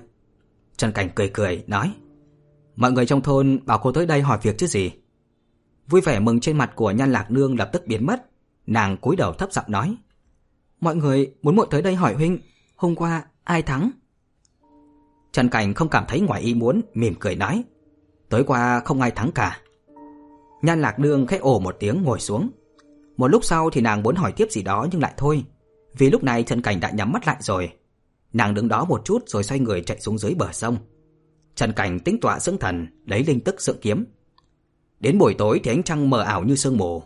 Trước miếu Hà Bá có một người đang đứng phất tay, một vệt sáng như giải lụa phá không bay ra, lao thẳng tới bể mặt sông. Lại là một đêm sóng to vỗ mạnh, nước sông quẩn quẩn. Đến ngày thứ hai thì mới sáng sớm Nhan Lạc Nương đã chạy tới, nàng hỏi thẳng: "Ai thắng ai thua?" "Ai, bất phần thắng bại." Trần Cảnh trả lời. Đến buổi tối ngày thứ ba thì trăng hôm nay tròn hơn, ánh trăng tỏa ra khắp làm cảnh vật sáng như ban ngày, ánh trăng bạc lung linh trong sương mù. Lần này thì tiếng sóng sông vỗ bờ càng lớn hơn, thỉnh thoảng còn nghe được những tiếng cười quái dị ngay giữa sông, cùng với âm thanh ngân vang của kiếm quang mờ ảo nữa. Ở bãi đất phía xa thì người tới xem càng lúc càng nhiều. Mấy người ở trong thôn ven bờ sông, dù là nam hay nữ, già hay trẻ, tất cả đều tới rồi. Chỉ thấy trong không trung có một thanh kiếm xuất quỷ nhập thần, chớp tắt không ngừng. Lúc thì ở phía trước, lúc thì ở phía sau, có khi lại giống như là chia ra làm hai, có khi lại như là một tia sáng dài chém thẳng xuống. Sóng ở dưới sông quằn quặn dâng cao đến mấy trường. Một con cá khổng lồ ngục lặn không ngừng ở ngay giữa sông, khi thế tự như là rời sông lấp biển. Khi trời vẫn còn mờ tối, trận chiến đấu vừa kết thúc thì Nhan Lạc Nương cũng đã tới. Vừa nhìn thấy nàng thì Trần Cảnh cố ý né tránh ánh mắt của nàng, lòng hơi trầm xuống, Nhan Lạc Nương hỏi: "Tộc trưởng nói muội tới hỏi huynh, huynh có mấy phần thắng chắc vậy?" Trần Cảnh không nói, con cá tinh kia có pháp lực thâm sâu, đã khai thông linh trí hơn 100 năm rồi, nếu như không phải nó biết pháp thuật gì thì Trần Cảnh đã không thể nào đấu pháp với nó lâu như thế. Nhan lạc Nương thấy Trần Cảnh không nói, nói tiếp. Tộc trưởng nói, nếu như thương thế của huynh đã tốt hơn rồi, vậy thì rời đi đi. Nàng nhìn Trần Cảnh, mặc dù sau khi nàng nói xong những lời này thì vẻ mặt Trần Cảnh không thay đổi gì, nhưng mà không hiểu vì sao nàng lại cảm thấy nhất định, hắn cảm thấy không thoải mái. Nàng biết Trần Cảnh muốn chờ đi yêu quái gây sóng gió trên sông, nhưng mà ba ngày liên tục, hết toàn lực cũng không thể làm được gì. Tuy nhiên nếu như nàng là tộc trưởng, nàng nhất định sẽ không nói hắn rời đi đâu. Trần Cảnh khép hở đôi mắt, một lát sau thì mới thở dài nói. Ai, được. Giọng nói hình như là nghẹn đi vậy. Hắn biết mọi người ở đây lo lắng việc gì. Lúc trước hắn còn muốn giết chết con cá tinh nhiễu hại dân lành này. Tiếc rằng pháp lực không đủ nên không thể làm được. Dù đã đấu ba ngày rồi, dốc hết toàn lực nhưng mà hắn cũng không thể làm gì được. Có đấu tiếp thì cũng không có ích gì cả. Sau khi Nhan Lạc Nương rời khỏi miếu Hà Bá, Trần Cảnh gói ghém kỹ lưỡng toàn bộ quần áo rách rưới của hắn lúc trước, đứng trước miếu Hà Bá nhìn sóng trên mặt sông, cảm thụ làn gió đậm hương vị sông nước. Hắn thở dài một tiếng rồi xoay người rời đi. Đột nhiên lúc đó thì có một làn khói mờ xuất hiện trong miếu Hạ Bá, càng lúc càng đậm. Trần Cảnh cao mày dừng lại. Trong sương khói dày đặc ấy thì bỗng có một ông lão từ tượng Hạ Bá đi xuống, tay cầm một cây trượng bằng gỗ tối màu cao bằng người, y phục rất giống với y phục của tượng Hạ Bá được điêu khắc. Đầu tóc ông ta bạc trắng, có cảm giác chỉ cần một cơn gió thổi qua là cả mái tóc sẽ bị thổi tung lên. Ông lão hồ, Trần công tử, xin dừng bước. Trần Cảnh đứng yên dưới ánh trăng tỏ vẻ kinh ngạc. Ông lão lại hỏi, vì sao Trần công tử lại vội vã rời đi như thế? Ta không rời đi, vậy thì phải làm gì đây? Từ trên người của ông lão này thì Trần Cảnh cảm nhận được một cỗ khí tức đặc biệt không phải là cái thanh đạm của người tu đạo, cũng không phải là yêu khí, cái cảm giác tựa như là cây cỏ sông núi trong trời đất vậy. Hắn nhất thời nghĩ tới thần linh, chỉ có thần linh sông núi trên thế gian thì mới có khí tức này. Điều này làm cho hắn nghĩ tới đám vong hồn nghe lệnh thành hoàng đã vây công Thiên La môn, nhưng mà bài vị của thành hoàng đó cao hơn Hà Bá này rất là nhiều. Giữa sông này có cá tinh làm loạn, Trần công tử thật là trơ mắt nhìn nó làm hại nhân gian hay sao? Trần Cảnh quay đầu lại nhìn mặt sông nói Nghe nói năm xưa Hạ Bá còn bị cá tinh giết Ta mới tu hành được 3 năm sao có thể chống lại được pháp lực trăm năm của cá tinh. Ông lão trong miếu thần hơi ngật người, thở dài một cái nhất thời không nói gì. Trần Cảnh thấy mặt trăng đang dần trôi về phía tây, xoay người rời đi trên bờ sông đang bị bóng tối bao phủ. Ngay vào lúc này thì một lời nói từ trong thần miếu truyền ra. Trần công tử, không biết cậu có muốn thủ hộ con sông này hay không? Trần Cảnh dừng bước, quay đầu nhìn lại. Chỉ thấy ông lão kia đang đứng ở bên cửa miếu hạ bá. Có cảm giác ông lão vốn có thể bị một trận gió nhẹ thổi bay bất cứ lúc nào bây giờ lại rất nặng nề. Nếu như ta có đủ năng lực, tất nhiên sẽ thủ hộ con sông này. Trần Cảnh nói rồi lại xoay người đi tiếp. Trần công tử, xin hãy dừng bước. Ta nghĩ chắc cậu cũng biết ta là ai. Ta chỉ hỏi cậu một câu. Cậu có muốn nhận sắc phù hạ bá, lấy sức thủ hộ con sông này hay không? Trần Cảnh lại dừng bước, lão già tiếp tục nói. Lão hồ chính là hạ bá Tú Xuân Loan này. Một trăm năm trước bị một con thuồng luồng hung ác đánh bị thương. Tới tận 50 năm sau mà vẫn không thể khôi phục được. Sau đó lại bị cá tinh giữa sông đánh bại. Chỉ sợ không thể nào khôi phục lại như ban đầu. Lão Hồ muốn truyền trước hạ bá cho cậu. Kính xin Trần Công Tử thương xót thôn dân trước sông mà nhận sắc phù này. Trần Cảnh đến nhớ tới một quyển sách đã từng đọc ở trên núi Thiên La. Sách có viết. Tục truyền, 3.000 năm trước, Hạo Thiên Đại Đế trên thiên đình đã phong thần vị cấp thiên hà, Định phẩm cấp thần tiên, người nào người đấy cũng có sắc phù. Chẳng lẽ là thật sự sao? Trần Cảnh tự hỏi lòng mình như lại nhếch miệng mỉm cười, nói. Nếu được bài vị, chẳng phải cả đời sẽ bị sắc phù quản chế hay sao? Đạo tôi tu chính là tiên đạo đấy. Nói xong câu này hắn lại xoay người rời đi. Nhưng mà lão già trong thần miếu lại nói. Lão hồ còn lời buồn nói. Trần công tử khoan bước đi đã. Trần Cảnh đứng yên trên bờ sông, lão già hỏi. Nếu được bài vị, cậu có thể đồng thọ với thiên địa. Đạo tu tiên nhiều lắm là tu trường sinh bất lão, không khác biệt là mấy đâu. Mà tiên đạo lại khó thành, vì sao Trần Công Tử lại bỏ gần cầu xa vậy? Trần Cảnh đứng lặng hồi lâu, thân mặc áo vải thô của dân trài dưới ánh trăng, trên tay cầm thanh trường kiếm được bọc lại bằng quần áo cũ. Một lúc sau hắn chợt nói, tu chính là để cho thân xác và tinh thần được tự do. Được phong thần mặc dù có thể trường sinh, nhưng mà cả đời lại bị quản chế bởi thiên đình, sao có thể ung dung tự tại bằng sớm du Bắc Hải, chiều dạo thương cô. Hắn nói xong liền cất bước bỏ đi, mặc kệ lão già trong miếu hạ bá hồ hoán, đi xa rồi vẫn còn nghe thấy tiếng lão. Nghe bảo người luyện kiếm đều là kẻ trí tình trí nghĩa, nay ta xem ra chỉ là hạng lạnh lẽo bạc tình mà thôi. Trần Cảnh đi đến chỗ bóng râm dưới chân đê, dừng lại một chút, ngay sau đó lại tiếp tục cất bước.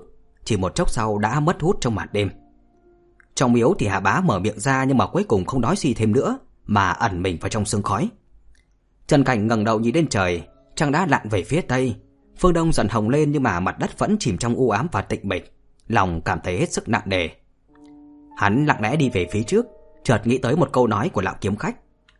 Nếu muốn luyện kiếm thì cần phải kiên trì, vô luận là kiên trì làm gì thì cũng phải kiên trì, dù cho thế nhân có cho đó là cố chấp. Hắn cũng không biết mình đang làm cái gì nữa. Hắn muốn trừ hại cho người trong thôn, xong lại đem phiền toái đến cho bọn họ, thậm chí là tai họa.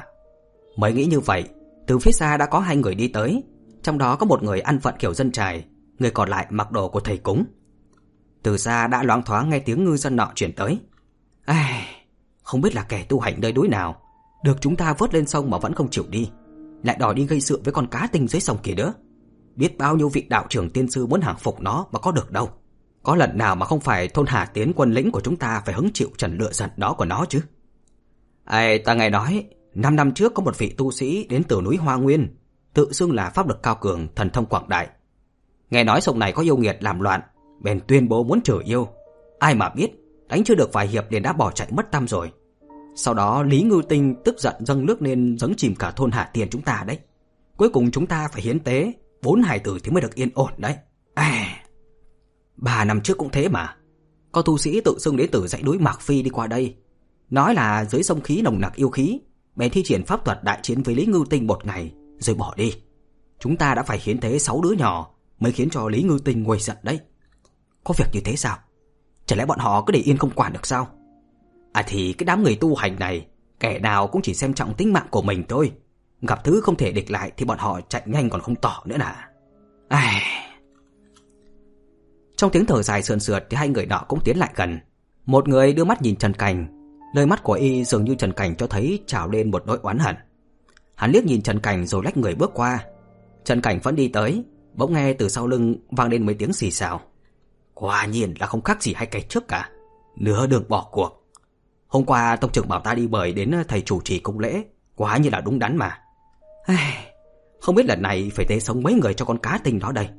Mà nhan lão tam và lạc nương phen này chắc cũng không sống nổi nữa đâu. Trần Cảnh thoáng dừng chân, quay đầu nhìn lại. Chỉ thấy hai người nọ đã đi khá là xa. Trong bóng tối nhập nhoạng đó thì hai người thẳng tắp bị ánh trăng sắp tàn xé đi trông rất là gầy. Ngày đó hắn nghe xong chuyện của Lý Ngư Tinh tắc oai tắc quái thì rất là tức giận. Nghĩ sẽ giết con yêu này để đền ơn cứu mạng của dân làng rồi mới bỏ đi. Chỉ là sức cùng lục kiệt cả ba đêm rồi mà vẫn không chém chết được nó. Bất đắc sĩ đành phải rời đi. Lòng thầm nghĩ nhất định ngày khác sẽ quay trở lại. Không ngờ như vậy lại khiến cho dân chúng bên bờ sông này lâm vào phiền phức lớn như thế. Trong bóng tối thì đôi mắt vẫn luôn ảm đạm, từ khi tỉnh lại đã thay đổi một cách kinh người. Nhưng mà dù hắn trở lại thì có thể làm được cái gì chứ? Lý Ngư Tinh cứ trốn ở dưới sông đã là đứng ở thế bất bại, cho dù hắn trở lại thì có thể làm được cái gì? Hắn quay đầu bước nhanh, gió sớm mai xăm mà nghe lạnh lạnh. Khi còn chưa đến núi Thiên Na thì hắn đã từng là con cháu nho ra đọc sách thánh hiền. Hiện tại cũng không khỏi nhớ lại một câu, nghèo thì chỉ lo nổi thân mình. Hắn đã không có khả năng thì cũng không cần phải cố. Càng lúc thì hắn càng rời ra khúc sông Tú Xuân Lan, đi thẳng về hướng núi Thiên La trong ấn tượng của hắn.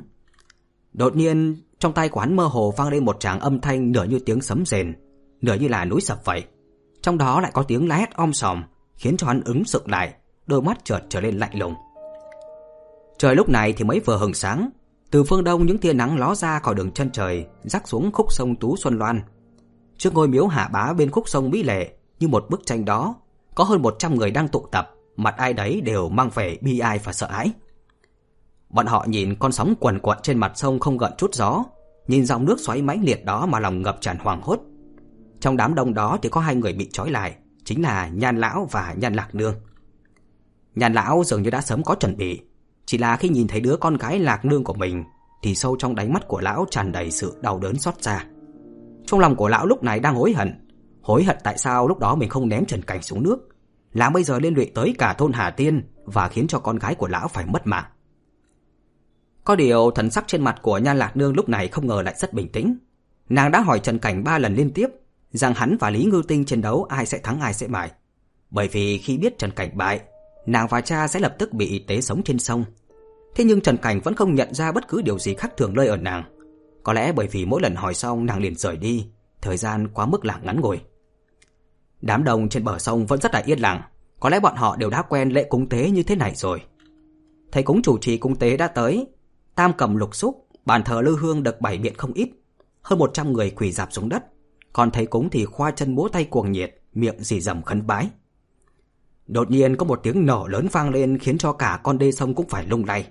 Có một con cá chép cực lớn bung ra khỏi mặt nước phóng thẳng lên trời rồi lặn xuống, làm nguyên một khúc sông nổi sóng ẩm ý. Người trước miếu hạ bá vội vã sụp lại, miệng khấn vái văn tế, hiển nhiên đã rất quen với trình tự công tế này rồi.